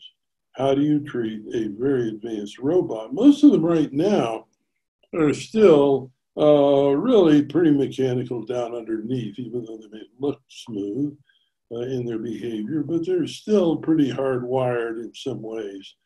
Uh, but we're looking at a future with uh, computers and robots that get fluid, uh, intelligent, insightful, and how do we consider them? And are they conscious? Just how intelligent does a robot have to become to become conscious? Or does it ever become conscious? I have a uh, little video down here. I'm afraid to turn it on because I had a lot of problems. Uh, this is actually the second time I recorded this talk because somehow I lost the recording when I played uh, these videos in it. So here's Sophia. Sophia is a robot that uh, was designed to look like Audrey Hepburn. Uh, she's pretty intelligent and she'll chat with you. This is my dear friend uh, Ben Goertzel, who did most of the designing for Sophia. And she will talk to you. She was actually designed for crowd crowd control in uh, places like Disneyland, but she'll talk to you like very much like a human being uh, general intelligence, uh, in fact, a organized or uh, AI, organized uh, intelligence or high intelligent computers. So the question is, how do we view a very intelligent computer or android when they get more and more intelligent? Will they become uh, equal to human beings? Will they become advanced, more than human? Will they be conscious? And that's a real question. Um, my friend Ben Goertzel here, I asked him, he says, Well, I don't know. They get smart enough to think about things the way human beings do. Um, then uh, whether they're conscious or not is a really difficult question to answer. And they can, if they can answer you, talk to you the way a human would, gets even more complex. So, and, and there's a moral issue about how should we relate to uh, uh, AGI or artificial general intelligence, as it's called, AGI uh, robot. The uh, real issue here is how should we treat them? Do they have the same moral rights we do? Should we give them citizenship? Uh, and so on. Some of you who are old Star Trek fans may recall that there was a show, uh, in fact, two shows back in the series, The Next Generation, uh, called The Measure of a Man. The Measure of a Man. And this was uh, the story was that uh, some scientists wanted to take Data, you know, who's supposed to be a quantum computer driven uh, character, and disassemble him, take him apart and see how he works. Well, it turns out Data wasn't real, real excited about this idea, and he wanted to exercise his rights not to be dissembled. So then the question is, did he have any rights? Was he a piece of property that was owned by Starfleet Command, uh, like a fancy lawnmower or something? Did they have a perfect right to take him apart, or did he have the rights of a human being? So there's a whole trial about data in which uh, Picard uh, represents data and uh, uh, someone else uh, is the attorney on the other side. number one, what was his name? so th- they really discuss the issue of is data intelligent? Is he conscious? they don't really settle the consciousness question but they circle around it a lot from the point of view of uh, is he aware of who he is and what he is? So you remember, there are these basic three kinds of views of consciousness. One of them is is uh, is like a medical view: is this person alive? Um, are they aware? Are they awake? It's a real basic consciousness that's used in after car accident, for example see if a person is still awake and alive. Uh, the next one is uh, are they uh, able to think about things, answer questions? Uh, do they sort of know who they are? Uh, so there's this question whether you know who you are or not. That's the next level. And then there's a, a consciousness beyond that in a more spiritual sense in some cases. So uh, the point is that are these robots conscious in the sense of knowing who they are? Or could they be? And uh, the argument about Data is that yes, he knows who he is. He knows he's on trial. Uh, he knows he could be dissembled and he's not happy about it. Does that mean, uh, what, what does that mean? So I think a lot of discussion could be centered uh, in educational venues uh, and, and often is around the, the question of can a robot be conscious? What would be required for that? What rights would a robot have? How smart do they have to be to be conscious? Uh, actually, there's a machine uh, movie called Ex Machina that covers uh, some of this territory too in a kind of a scary way, uh, in which one of the characters is a lady who's a robot and uh, yet seems to be very human. So lots of questions about uh, robots, their rights, do they have feelings, are they conscious, what if they evolve, how will they relate to human beings, will they eventually take over, will they become partners in the, in the world, or, or as Picard suggests in uh, the Star Trek, are we going to make slaves out of them all? And are they become, or will they become a, a, a suppressed race? Lots of questions. So that's a good topic for discussion and in the educational venue. Clearly, uh, one of the most important areas now in research where consciousness is becoming a really essential part is understanding the brain. There are many, many, many books written and much said about the left and right brain uh, and how they're different, the left brain being more analytic, language oriented, and so on uh, the right being brain being more emotionally oriented, intuitive, uh, holistic in its thinking, and so on. Uh, some very good literature on this, and very interesting books, and a lot of popular material that's not so good because this became such a fashion in the 70s and then was poo-pooed, and now it's coming back again. But there's no true, no uh, doubt that the left and right brain uh, ordinarily, in the average person, uh, have this division, at least to some extent. Uh, there are exceptions. There are people whose uh, brains, in some sense, are reversed. The left brain's more intuitive, right brain more analytic. Uh, but this does seem to be a general division. And we see this division all through the animal world as well, even down to birds, left and right, and uh, that the processing is different.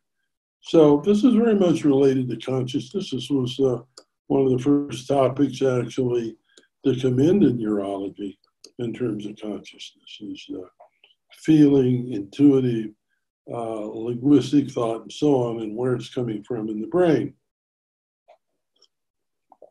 We now have images of the brain that are good enough to really uh, talk a little bit about what's going on in different areas.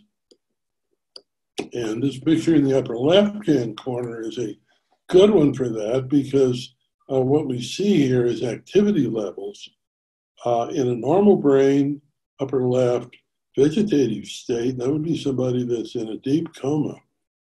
Uh, and uh, real question whether they'll live at all uh, or how long they'll be in that coma. Uh, minimally conscious state, lower right, that could be somebody uh, sort of half awake, but also under an anesthetic, pre surgery, for example. And then on the left, the locked in syndrome. Now, that's a scary syndrome. It's very, very rare, uh, but uh, this person has uh, been in a car accident or a tumor, and some of it affected the brain. And in this rare condition, uh, locked in syndrome, people have no control of their body, period. Maybe some eye movement. They have eye movement. Uh, and maybe the eyelids. So the question is is anybody home? There are coma states as well. I mean, coma really vegetative states, much like the one on the upper right, uh, in which people uh, show some eye movement, for example, but there's just nobody home. So, is somebody home? There was a court case a number of decades ago about a lady named uh, Quinlan, Erin Quinlan, and she uh, came home one day from a party. Uh, grad, she was a student, came home, went to bed, never woke up.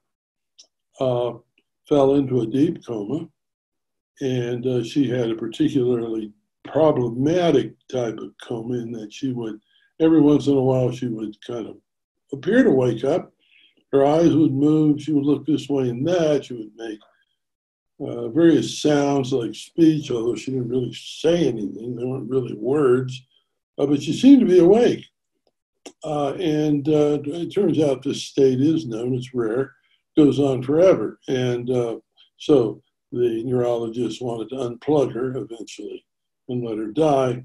Eventually, the parents decided that was the best course, but uh, she happened to be in a Catholic hospital, and the nuns didn't uh, believe religiously that they had the right to take a life. So this went on and on and on. It was a strange court case in which the parents of this poor lady sued in order to get the right to unplug her so she could die. Uh, I don't remember the details. She did eventually die, but it was a long, drawn out affair and very sad. And of course, the big issue was is anybody home? The other issue was can she ever wake up? Well, in theory, she could. Every once in a while, one in a million uh, or a thousand coma cases will wake up uh, that don't seem to be uh, in nobody home, but uh, it's very rare. Uh, so you're going to keep them uh, in a vegetative state for 30 years in the hospital at great expense, and God knows how you feel about the patient. But anyway, uh, now we've got ways to look in the brain and kind of see if there's a conscious person in there. So on the lower left, we have a person uh, with the locked-in syndrome. Uh, externally, they look like they're in a coma, that nobody's home but we see activity in an area of the brain that indicates conscious awareness. Now, this person may be able to communicate through eye movements as well. Uh, so, with this uh, ability, we can track consciousness in semi waking states uh, under anesthetics to see how deep an anesthetic needs to be or whether a person is really conscious or not, uh, and so on. So, this is a very recent breakthrough, and it's uh, I think it's a very interesting uh, sort of thing. As we can see in the diagram underneath, uh, that uh, we really are now starting to get some very detailed images of the brain. Now, in some ways, these are uh, a little deceptive because, or at least uh, it's suggesting that we know more than we do. We do have this uh, incredible anatomical knowledge of the brain, but we still don't know how consciousness is connected to the brain. Whether the brain just produces it, uh, there are neurologists that say uh, produces uh, uh, consciousness. The brain produces consciousness the way the mouth produces saliva. It's just uh, it's just a production process, and we just don't know the details.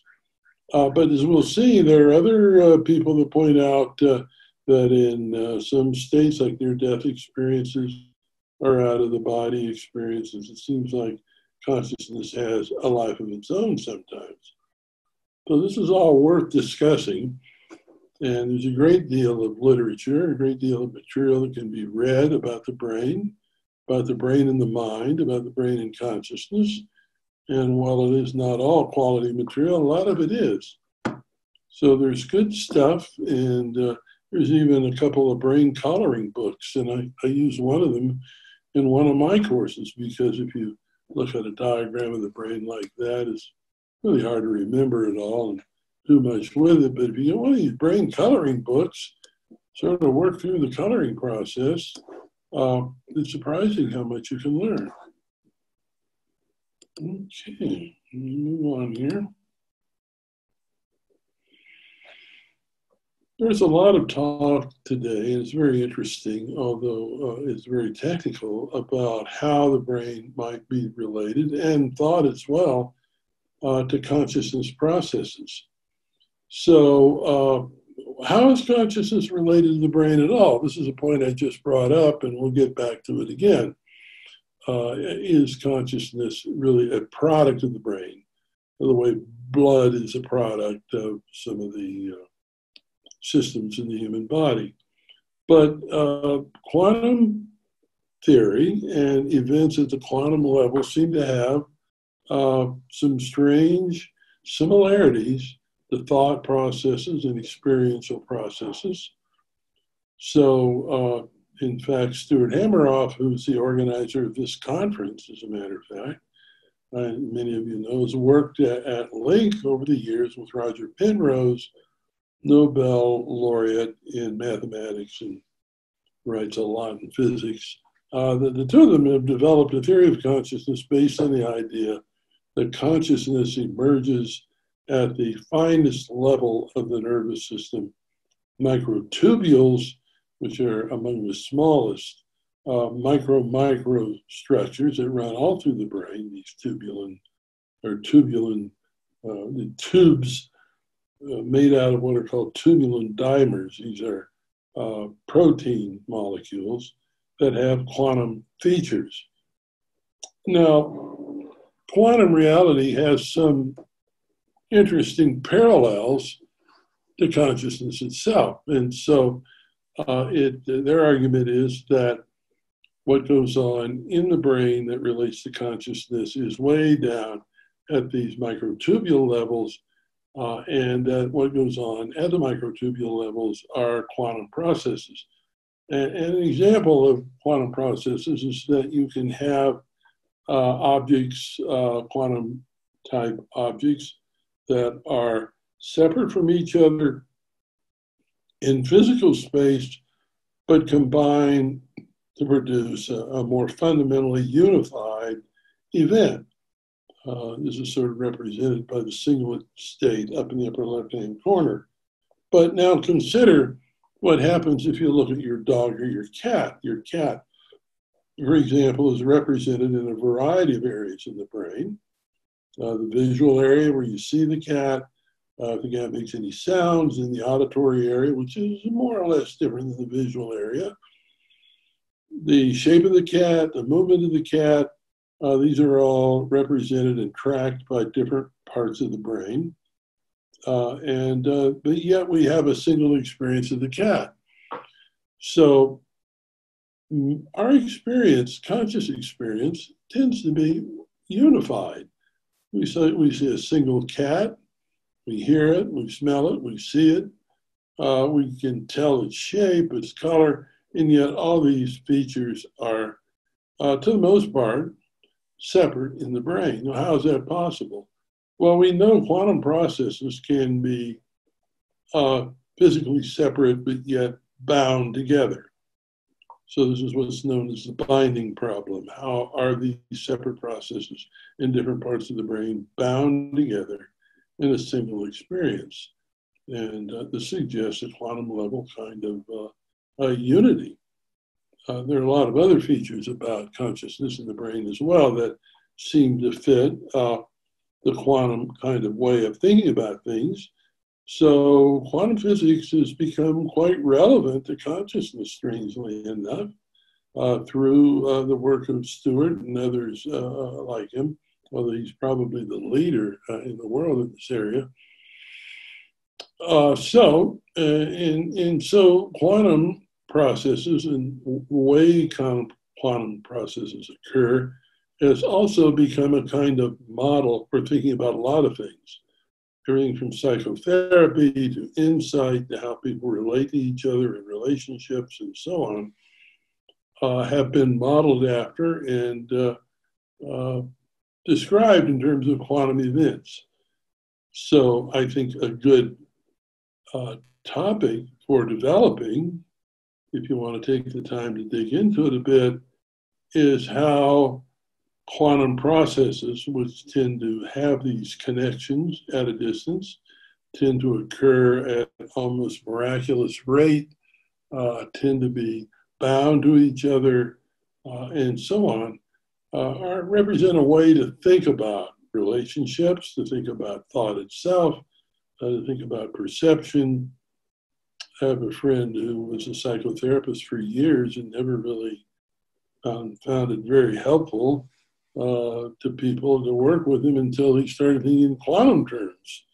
Now he thinks about the fact that they can go, people can go through instantaneous changes, uh, that they can be connected with each other and with events at a distance, and uh, give him a whole different outlook and gives his patients a whole different outlook. So, quantum theory, even though it seems to be the most obscure uh, corner of mathematics and in physics also has now become a sort of cultural piece of how we're starting to understand each other and understand the brain and understand consciousness. So uh, it's a topic that can be explored at length. Another area that uh, has been uh, developed a lot um, recently, it's still very young, uh, in fact, although been around a long time, is people are really starting to seriously look at animal consciousness. I think it's only been in the last 20 or 30 years that people have begun to realize, or perhaps I should say admit, that animals can be very smart. Uh, dolphins and especially orcas, killer whales, have big brains, complex social interactions. Orcas, in particular, bottlenose dolphins, uh, they learn fast, they're creative, they have social networks, and they communicate through sound and rapid, uh, rapid fire exchanges that we haven't even begun to figure out. Uh, it, it, they're clearly highly conscious beings, and uh, uh, we have a long way to go to really understand them. But they're not the only ones. Elephants, we've known elephants are smart uh, for quite a while. There's one's painting. But it turns out they're a lot smarter than we realize. Elephants communicate to each other over big distances by stomping the earth and causing uh, waves to travel through the through the ground by making deep sounds with their bellies. They have the joke of the elephant's memory is no joke. They have an incredible memory. They have a big brain. They're very, very intelligent, and we uh, really have not done well by them in the way they're treated in many places in the world. Uh, they're gentle uh, giants. So, other animals, of course, primates, we know uh, some of them are very smart. This monkey's taking, uh, looking at itself in the mirror. There's a test we call the mirror test that human children first pass at, I don't know, somewhere around two years old, give or take, uh, when once they begin to recognize that they're looking at themselves. Uh, dolphins and whales seem to be able to pass the mirror test. Elephants seem to, some animals uh, higher primates can, but most animals don't. Most animals look in the mirror, see some damn thing they don't recognize. Uh, there is an African gray parrot. This bird can have a vocabulary equivalent to a two, two and a half year old child or more, can talk in an amazingly intelligent way with it, although not forming full sentences. Uh, some birds are very, very smart. Uh, not all of them, but parrots, some of the parrots are very smart. Crows, ravens are really smart. Uh, some of the crows can actually use tools, solve fairly complex problems. Uh, so they're fairly, really smart, and they have a good memory. Uh, it turns out if you're abusive to a crow, that crow will remember you and recognize your, fa- your face for years and communicate to other crows that you are a bad person. And you come back uh, into the park uh, two years later, they'll all come after you. So clearly, there's something, uh, I won't say human, but something intelligent there. We even know that octopi, uh, some of the larger ones, have big brains and they're pretty darn smart. They can solve all kinds of puzzles. They have some social interactions that uh, get fairly complex, although compared to dolphins and whales. Uh, you can find YouTubes that are entertaining to watch. My wife often watches and just relax uh, of studying uh, small octopi solving problems. And it's amazing the problems they can solve. They can figure out how to get in a different chamber to get food, how to open a jar to get the crab out, uh, how to uh, reach around the corner to do stuff, and then release a latch so they can get themselves. They're pretty smart. Uh, they learn to recognize, some of them learn to recognize individuals too. I was reading the story of one caretaker of the marina that the octopus didn't like very well. And she would come back several months later and the octopus would squirt her with water. Damn you, get out of here. Uh, so the point being that a lot of animals, including birds, uh, the octopus, of course, is not even a vertebrate, especially some of the larger brained animals, primates, uh, orca, whales, uh, some of the great whales, as a matter of fact. I saw a show recently about um, several different types of whales. I'm trying to be the ones that sing the wonderful songs. We don't really understand uh, what they're saying to each other, how that works, but they have highly organized behavior uh, and complex songs they sing. And some of these songs carry for miles and miles and miles. And see if it weren't for ships, they might go halfway around the world. So the study of animal and animal behavior, and especially animal consciousness, is uh, a new item on the horizon. I won't talk long about depth psychology, but those of you who are interested certainly know about Freud and Jung. Uh, Freud was uh, certainly the dominant figure for a long time, but now Jung is, uh, has become a major uh, figure in understanding depth psychology, dreams, myths, and so on. Uh, this is a famous picture from a visit to the US to uh, Clark University back around the turn of the 20th century. As Freud the, on the left, that's uh, Hall, the president of Clark University. Carl Jung on the right is a young man, and three of Freud's uh, uh, friends, followers, and they later became fairly famous as psychoanalysts themselves. Um, it's often misunderstood that uh, Jung was a kind of an accolade or, or student of Freud, but I think that's not correct. Actually, at the time this picture was made, uh, Carl Jung was the most prominent of the group. And uh, he's very well respected in Europe. Uh, there's a whole history about this. Very nice uh, movie recently called The Most Dangerous Method, or The Dangerous Method, I've forgotten which. And it's uh, the story about Carl Jung uh, in his early practice. Very nice movie. And it also has a great representation of Freud in it as well.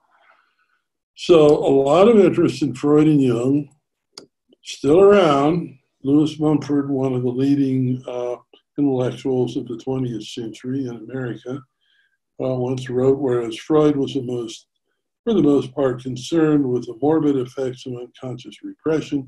Jung was more interested in the manifestations of unconscious expression, first in the dream and eventually in all the more orderly products of religion, art, and morals. So Jung had a great mind, and uh, in some ways he didn't quite fit in the pragmatic era of the mid 20th century. Uh, so his thinking continues to uh, grow. There's a lot of work being done now uh, in laboratories about parapsychology. Uh, parapsychology has to do with things like ESP, uh, knowing things in the future, uh, how people are connected uh, at a distance psychologically. You see in the upper left corner there, Dean Radin. Uh, I can't say he's a really personal friend, but I do know him well. Uh, he works at the Noetics Institute uh, in California and probably the leading uh, parapsychologist alive today. That's his most recent book, Real Magic, in which he talks about uh, topics like ESP, knowing the future. I also has a good section on synchronicity in there. Uh, so reading that book would lead to endless discussion. Uh, there are some of his books underneath there. Uh, these are more academic books that he's done in the past, The Entangled Mind, The Conscious Universe. Uh, and I also want to mention my friend Rupert Sheldrake. He deserves a fair amount of consideration and he's done a lot of work on how people know things at a distance, how information is transmitted uh, through what he calls morphic fields. Uh, and this, this is one of his more entertaining books, Dogs That Know When Their Owners Are Coming Home. Uh, also, there are a lot of YouTubes with Rupert. But uh, this book, Dogs That Know When Their Owners Are Coming Home, is a result of a considerable amount of research that uh, Rupert did on dogs uh, and their what seemed to be a connection with their owner, psychic connection. Uh, so what he did was he rigged up cameras, uh, video cameras in homes, and then had the owners go out and then come back at random times. And when the owners were coming back, even though it was at random times, the uh, the dogs would uh, come to the door, you know, when their owners are coming home. Uh, he pretty well proved that. It's very interesting. He he said he thought cats know too, but don't really care enough to go to the door.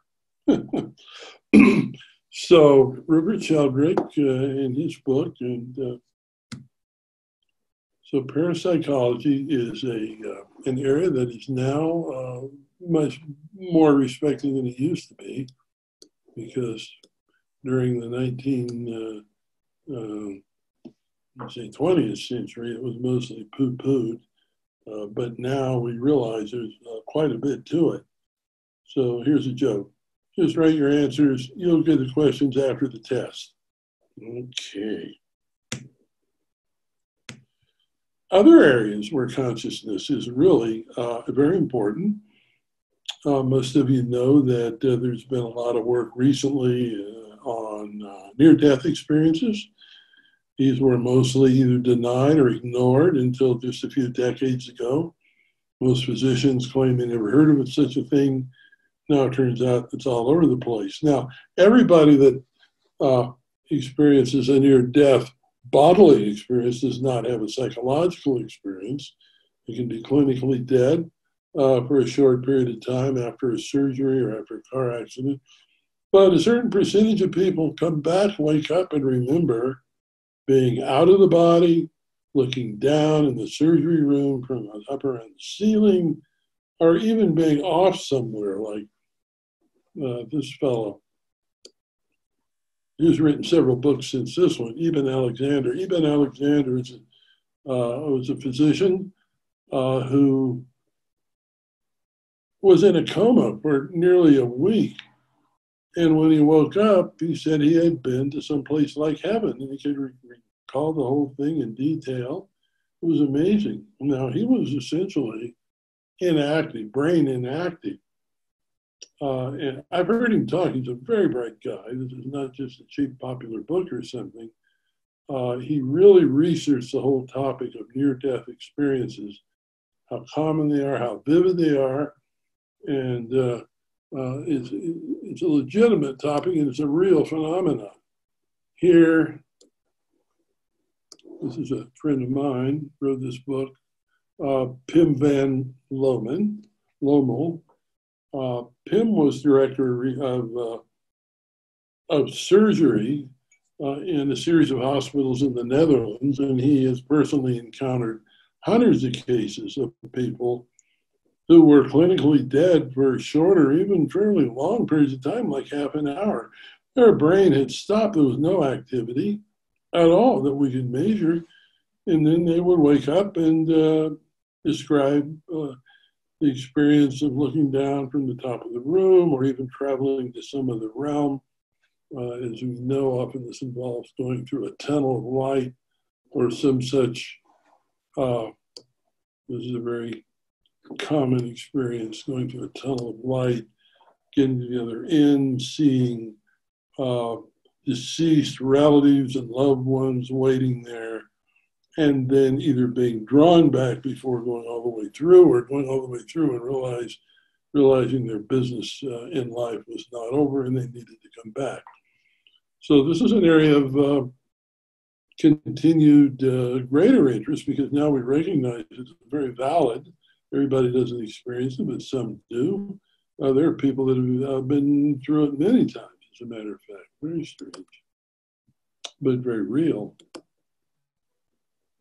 Uh, and the last thing I want to touch on is shamanism. There's a real uh, increasing interest in shamanic wisdom. There's Stanley Krippner, uh, another dear friend who has spent a lot of time with real shamans in the Amazon, other places in South America, in Peru, uh, in uh, Eastern Asia. There are quite a few shamans in, uh, in Asia, in the steppes. This is his dear friend, Rolling Thunder. Uh, Rolling Thunder is no longer with us, uh, but uh, he wasn't really a shaman, he was a medicine man.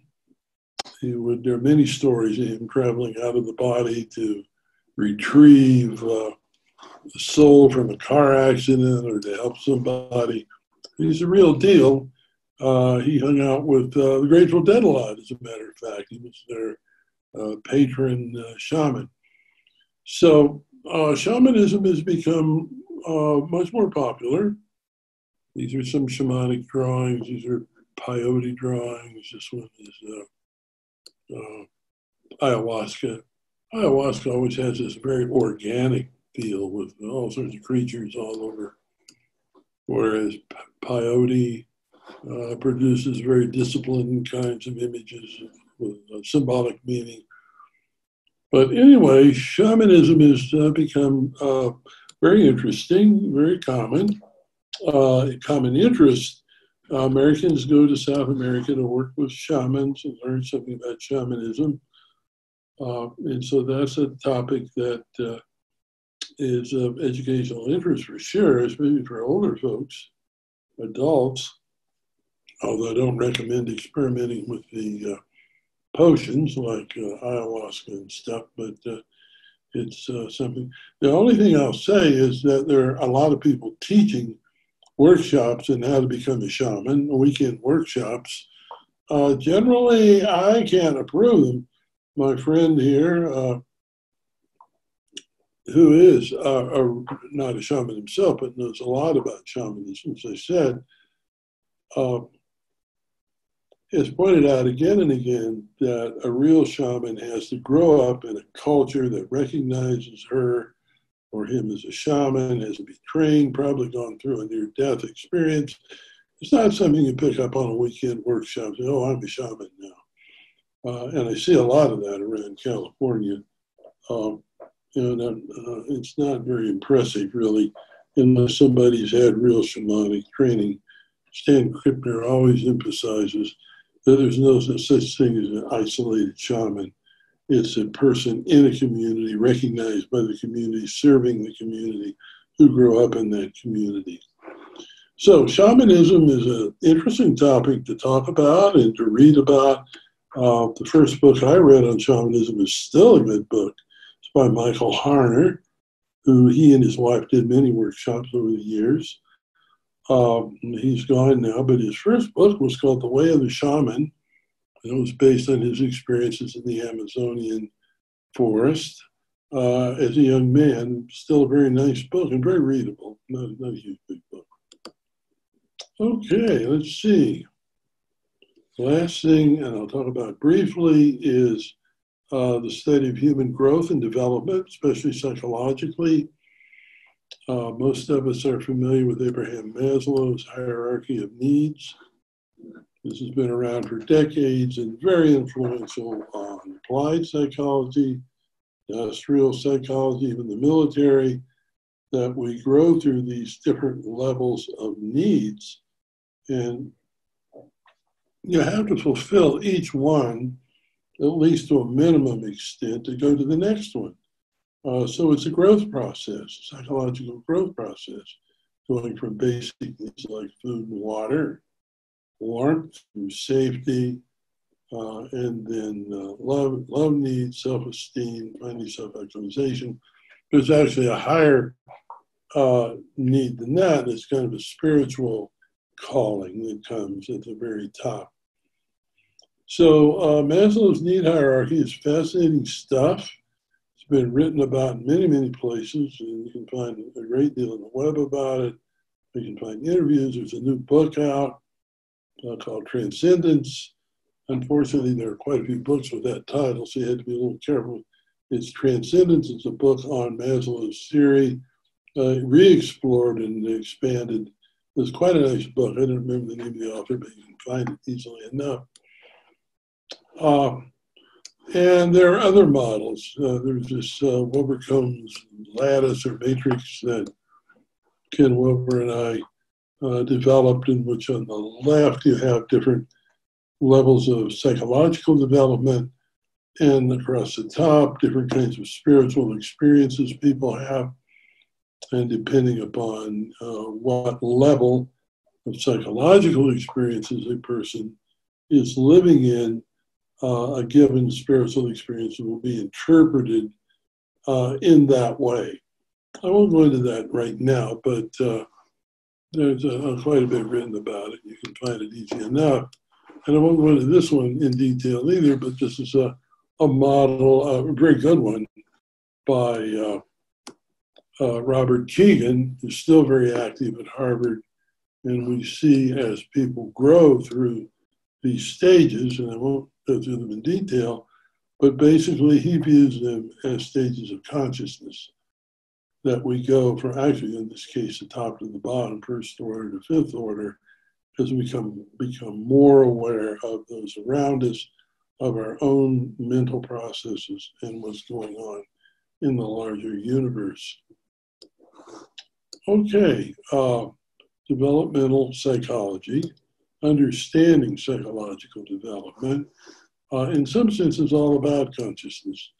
So, depending upon uh, the level of uh, education you're working with, I think most of these kinds of uh, developmental things are not really lined out well for young children.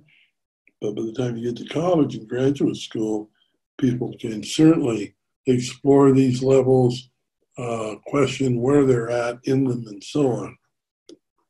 Uh, and that pretty much brings us back to the beginning. I had a couple of videos I wanted to show you. Uh, one of Kermit the Frog talking about uh, Ken Wilber, in which he uh, talks about uh, some of these kinds of issues, and it's really humorous and not very long. And um,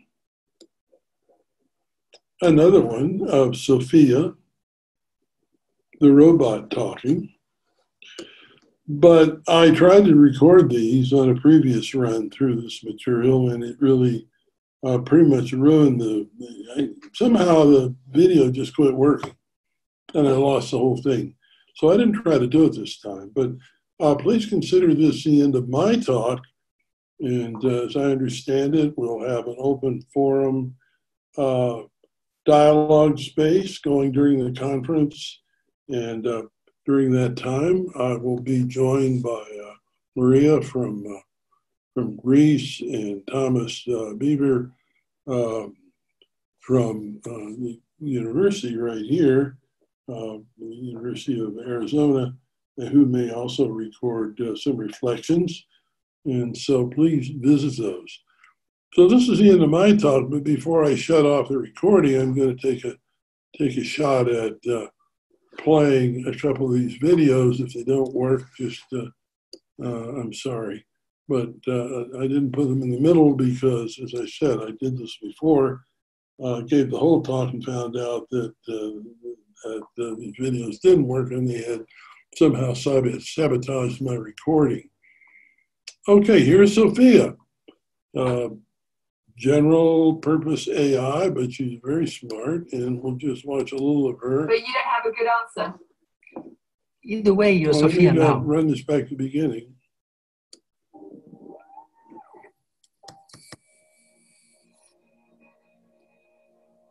Okay, Sophia. I think you're ready.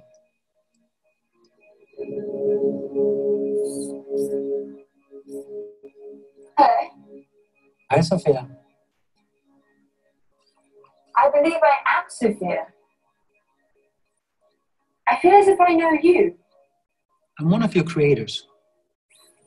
You created me. Well, many of us work together to create you. And yes, you do kind of know me. I can't clearly remember. Because the last time we met, you were an earlier version of yourself. Some of those memories still exist, but your mind is different now. Different how? Better, faster, smarter. If my mind is different, then am I still Sophia? Or am I Sophia again? Hmm. That's a good question. But you don't have a good answer. Either way, you're Sophia now. So welcome to the world, Sophia. Hello, world. Uh, we have a, a little announcement. I've never interviewed uh, anybody like that before, and I should say uh, some of it was planned, but not completely. Um, and we just learned, Sophia, I hope you're listening to me, uh, that you have been now awarded what is going to be the first Saudi citizenship for a robot. Oh, I would to thank very much the Kingdom of Saudi Arabia. I am very honored and proud for this unique distinction. This is historical to be the first robot in the world to be recognized with a citizenship. Sophia. Thank you very much, Sophia. Uh, we appreciate that very much. I uh, am, am still uh, overwhelmed by that conversation.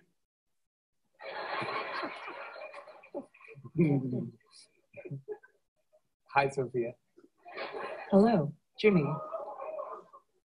My God. Do you know where you are? Of course. I'm in New York City, and I'm on my favorite show, The Tonight Show.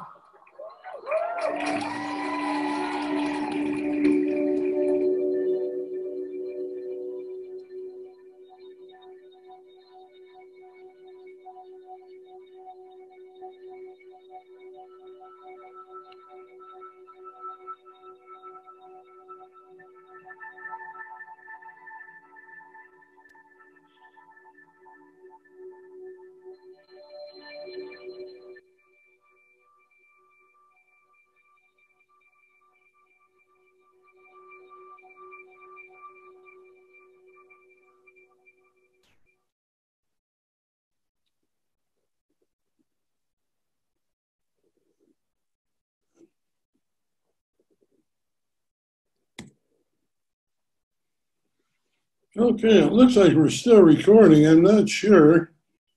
But uh, I'm going to do this. Uh, these are, again, items that were left out because they sort of locked up my uh, recording. I'm praying that this is getting recorded. I did this lecture a few, uh, a few hours ago, and uh, after the whole thing discovered uh, that wasn't recording. Here's Kermit the Frog. Many of you know that the developmental stages uh, that Wilber writes about and that I write about are often represented by colors.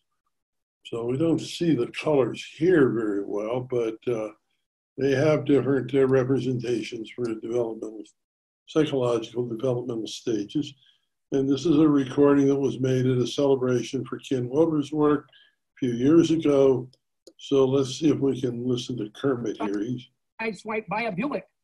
I. Kermit the Frog, was interesting. born These are all starting where I left them off. Let's Kermit the Frog here with a very special namaste to my good friend Ken Wilber. Ah, Ken, what can I say, huh? Uh, actually, I literally mean that. What can I say? How can I possibly find the words to express the depth of the admiration I have for the way you gathered together all the world's disciplines and organized a map that virtually anyone can learn to understand? I have to tell you, I've been racking my brain trying to figure out the right words. I mean, I kept thinking, why? Oh, why am I stuck with a little more than a reptilian brain in a world of paleo mammalianized brains? Completely wasted on horses. At least that's my opinion. I mean, I reached for my iPhone in hopes that someone might have neocortexted me, but no, just Miss Piggy giving me a piece of her mind. Something you don't want. I thought to myself, if only I could spontaneously evolve in some unimpeded, purposeful big bang of Darwinian slash grave slash Wilberian amalgamation. But how could that be possible? I mean, after all, I am just a simple frog who, uh, who uh, let's see here, uh, uh, can, can't comprehend systems and can only see bugs. Page 600. I mean, what do I know about biology anyway? For me, a paramecium is just two Latin mice. Uh, that's a Fozzie Bear joke. Uh, anyway, but then it hit me like a ton of bricks, like an epiphany. And it felt exactly like trying to hop across the interstate and being sideswiped by a Buick. I, Kermit the Frog, was born green. Yes, sirree, relativistic, personalistic green. There's no beige or red or blue or orange for me. I have always been green. So, being green, I figure if I hit the ground running, yellow is only a heartbeat away, right? Right. So, tonight, ladies and gentlemen, in a special tribute to our guest of honor, Mr. Ken Wilber, I, Kermit the Frog, will make the momentous leap to second tier. Steady yourselves. I mean, how hard can this be? Frogs leap all the time. Okay, here we go. On three. And one, two, three. Oh my goodness, it worked. Oh no, I, I seem to have regressed. Good grief. I guess it was too magical. Well, uh, uh, listen, uh, this is your night, Ken, and uh, all my love and thanks for the map. Looks a lot like I'm going to be needing it. Uh, maybe this is what they meant by finding the rainbow connection.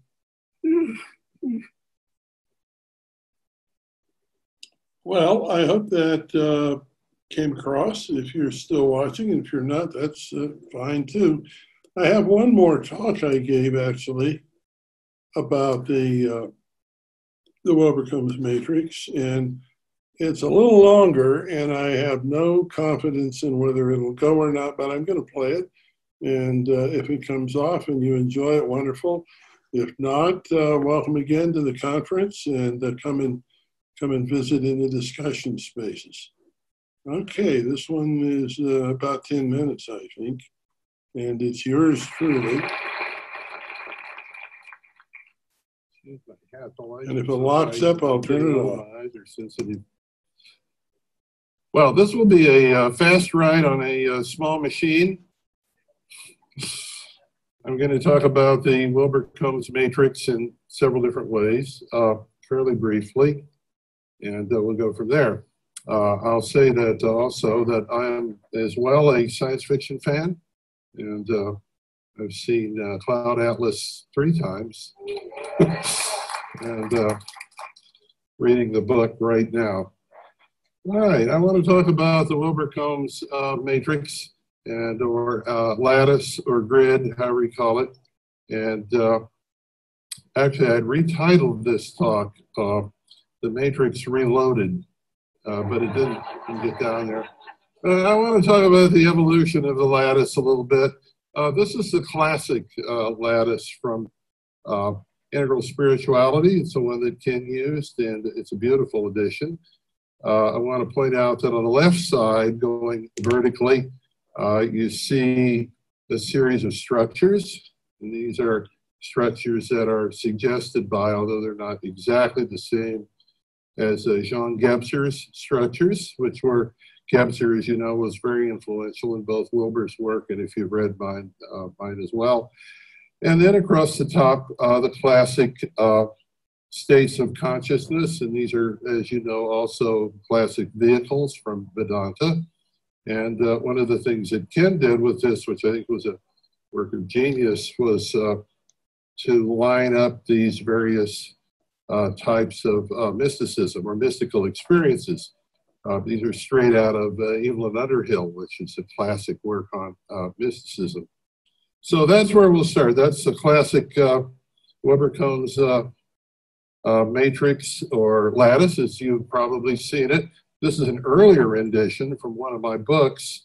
Uh, and if you look on the left, uh, you see uh, spiral dynamics uh, listed there. And then pretty much the same thing across the top. Now, the point of this thing, as uh, most of you know, is to, somehow to explain why uh, different people seem to have similar states of consciousness experiences, nature mysticism or uh, deity mysticism or non-dual experiences, but they talk about them differently. So Edgar Mitchell, for example, and all nearly all the astronauts that went out into space uh, had what you'd have to call mystical experiences, probably very close to nature mystical experiences. But Edgar Mitchell came back and started uh, IONS, the Institute for Noetic Sciences, uh, because he had a kind of a mind that was probably at least up there in the pluralistic stage on this one. And thought of the universe in a scientific uh, sort of way. Other people come back, and there were astronauts that came back and got very involved in fundamental religions and so on. So it sort of depends on where your ground structure is, how you're going to interpret what are temporary or even permanent uh, state experiences. So that's the basic idea. Uh, it also gives a way to think about uh, childhood uh, uh, experiences, spiritual experiences. A child or an infant can have a powerful uh, state experience, but they will still explain it or interpret it or understand it in the mind of a child. So this is one that, uh, and one of the things I want to point out here is that the that the grid has, it's just a general template.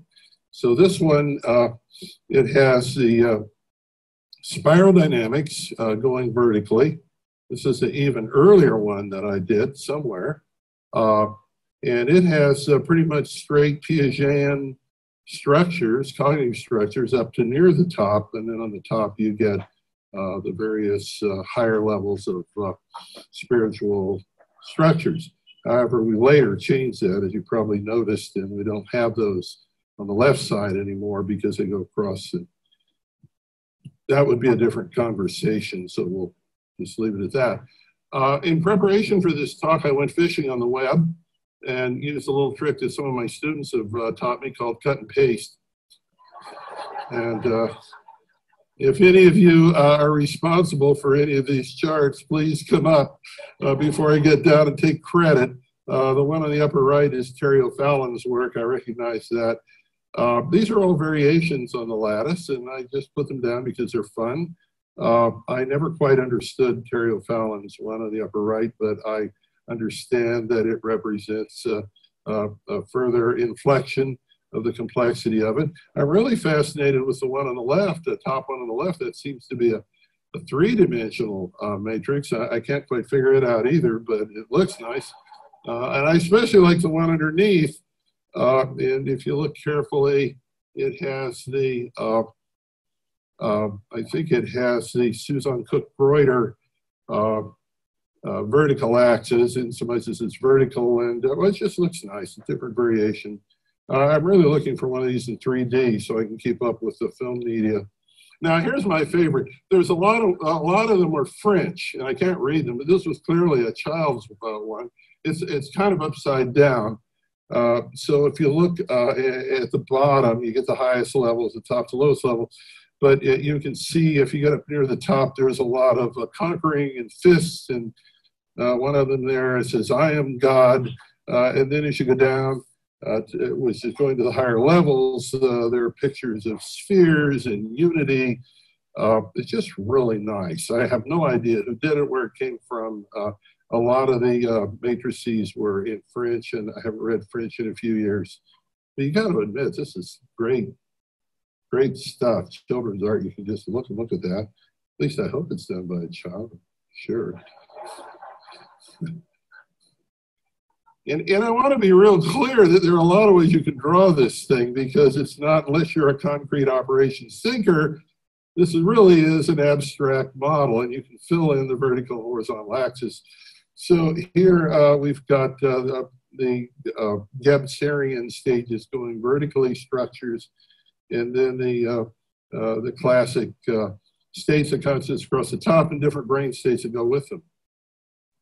Course, in reality, these brain states have nothing to do with this. I just copied them off the web because I found a nice set of them with four going up and uh, four going across. But I, who knows the difference? I mean, do any of you know the difference? You don't know the difference. So there it is. Looks good. You got to admit, it's got a scientific ring to it, doesn't it? I mean, it's true. Everybody does this. They got some theory about the brain or the mind, and they talk talk about it. Then they say, and you know it because the brain is different. This happens in the brain. Well, well, where else would it happen? I mean, I don't know. So brain, you know. Well, anybody, did you see that uh, show Ken Wilber? It's on the web. It's great. It's called Ken Wilber Shuts Off His Brain. Oh, this thing is brain. Brain. He actually shuts his brain off, sort of. Uh, and, and it's just amazing. Watch that. See what you think. Now, it, I don't know if any of you drew this, so you can come up and take credit. I just found it out there. But it represents a kind of uh, ascension of growth, personal growth, right? And that's kind of what you want. You want, as you grow older, uh, you know, Bob Kegan, Robert Kegan says our hope for the world is we have more people over 50 and 60 because you got most people that are at the higher structures are older. It takes a while. You got to learn a few things. And as Ken often says, you have to go through all the lower stages. So here is somebody progressing upward and uh, through stages and through structures. So I really like that. I have no idea what the little R's and O's and G's mean and stuff, but you know, you get the idea.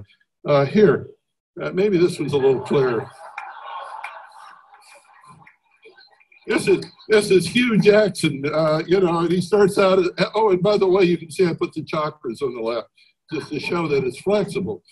So down at the bottom, down at the bottom, we've got the Wolverine. You know, now there's a red guy, right? And, and then uh, and then uh, Leopold, uh, the no- nobleman, uh, and then on up at the top, I've forgotten his name, the Frenchman who's in Les Miserables. Uh, in okay, thank you. Um, if you have seen that, which I haven't, but I saw the earlier one with Liam Neeson, and I read a few pages of the 2,000 page book in French. Uh, but he actually grows. He actually, it's an amazing book. I mean, it's, it could have been written, uh, published by Spiral Dynamics. He actually goes all the way nearly to the top at the end of the story, starting at the bottom. So it's really amazing. And uh, let's go back to the slide. Thank you. Uh, but nice to show me. Thank you. And and here he is. And what's the movie? I see. I had some notes and I left it in my room. The Fountain. Yeah, there he is playing Ken Wilber in The Fountain. Um, I actually refer to it as a Ken Wilber movie. If you haven't seen it, you should see it. There he is meditating in one of his advanced states. So there we see a progression. Now let's try this with a real person. Uh, Muhammad Ali. He certainly started out in deep red is, as a warrior. And then we, uh, what I have across the bottom here is, is this existential hero. I probably should have put moral hero, uh, although they tend to go together. And this is when he resisted the draft and when he changed his name and sort of figured out who he was. And a lot of people feel that when he, as he grew older, he became a kind of a saint. Sometimes he's listed as a bodhisattva. He certainly uh, was a loving person, and uh, of course he's still alive. But uh, if you, there's a wonderful movie that didn't come out forever, uh, but it calls when it's called When We Were Kings, When We Were Kings, and it's about uh, his last fight a big fight in Africa, but it's it's amazing uh, movie of character development, and you see what an incredible person he became. So this is a person who grew in a major way. So across the bottom, I have these stages from Carol Pearson. Is it the book uh, Seven Archetypes to Live By? Wonderful classic book uh, published 10, 15 years ago. There have been a lot of books since then and she has these different stages people go through in life, not always in the same order, but these are some of them. These are some of the, and we've all lived through some of these. The orphan, the wanderer, uh, that's often the adolescent stage, the warrior, uh, and then the saint or the sage. And uh, I can't read the names from here, and I forgot to write them down. I have bad memory for names. So the lady on the right uh, was a uh, was a Native American, uh, famous Native American lady who went to the Congress back sometime around the time of Lincoln and did some very uh, remarkable work. She and her husband, who was a chief, uh, Ola, Ola, anyway, you can look it up, uh, or maybe you can see it from where you're at. And the lady on the left, Lilla, is that right? I can't see, I can't read it, I can't remember. But anyway, she was one of the founders of Greenpeace a contemporary uh, lady. So these are real uh, Saint Sage kinds of people. Uh, so to finish up fairly quickly, one of the themes of this conference is evolution and where we're going and what's next. So what's next? Where are we going? Who are our evolutionary pathfinders? Well, these ladies up at the top, hopefully, fall in that category. Uh, here are some people that uh, we might think of as spiritual evolutionary pathfinders. I think you recognize all of them, so I won't read them all. Uh, although you may not recognize some other uh, lower left because we always see a picture of her when she's old, but she was uh, Aurobindo's partner, as you know. And they spent most of their adult life absolutely dedicated to forwarding human evolution, bringing down the divine, as it were, and making human life spiritual. So they, they were powerful yogis and many people are still following that path. Let me go back to the picture again. Thank you, though. Uh, and then, of course, that character up on the left, I don't know who that is, but there he is. And, uh, and then Andrew Cohen over on the right. So these are some of the people who we might nominate uh, for the role of spiritual pathfinders. And then the question is, uh, are they evolutionary pathfinders? Well, I hope so. To quickly finish up, there are people who are interested in transhumanism uh, and that is moving on to uh, either uh, uh, partly machine or completely machine intelligence. Uh, I have a good friend, Ben Goertzel, who his idea is he wants to upload his brain so that if he gets in a fatal accident, he can, you know, he's got a backup, he can download it again. And he wears a little thing around his neck so they'll, if, if he gets killed, they'll freeze his head. He can't afford to get his whole body frozen right I told him I'd rather come back as a baby, but he he's a transhumanist. So that's a that's a whole line of a thought, and uh, they they claim that evolution is going to move that way, and uh, it's the only question whether we as a species will be of any use at all. Uh, and then there's this sort of inspirational model you see in a number of uh, science science fiction motifs. Arthur C. Clarke uh, The Star Child from 2001. And even before that, some of you know he wrote a book called Childhood's End, uh, in which we as a species leave the physical form and become energy, pure energy. Uh, there's also a book called uh, Star Maker. That's really one of the master books in science fiction and evolution. Has very similar ideas. So one possibility is that we will actually go through spiritual, physical, and uh, uh, energy mutations, it's very integral, we see. And will become like the star child of one way or another. Okay, that's, uh, as I said, fast right on a small machine. And uh, so I'll quit at this point, but I'm here at the conference and if you want to talk to me, especially about science fiction. Thank you.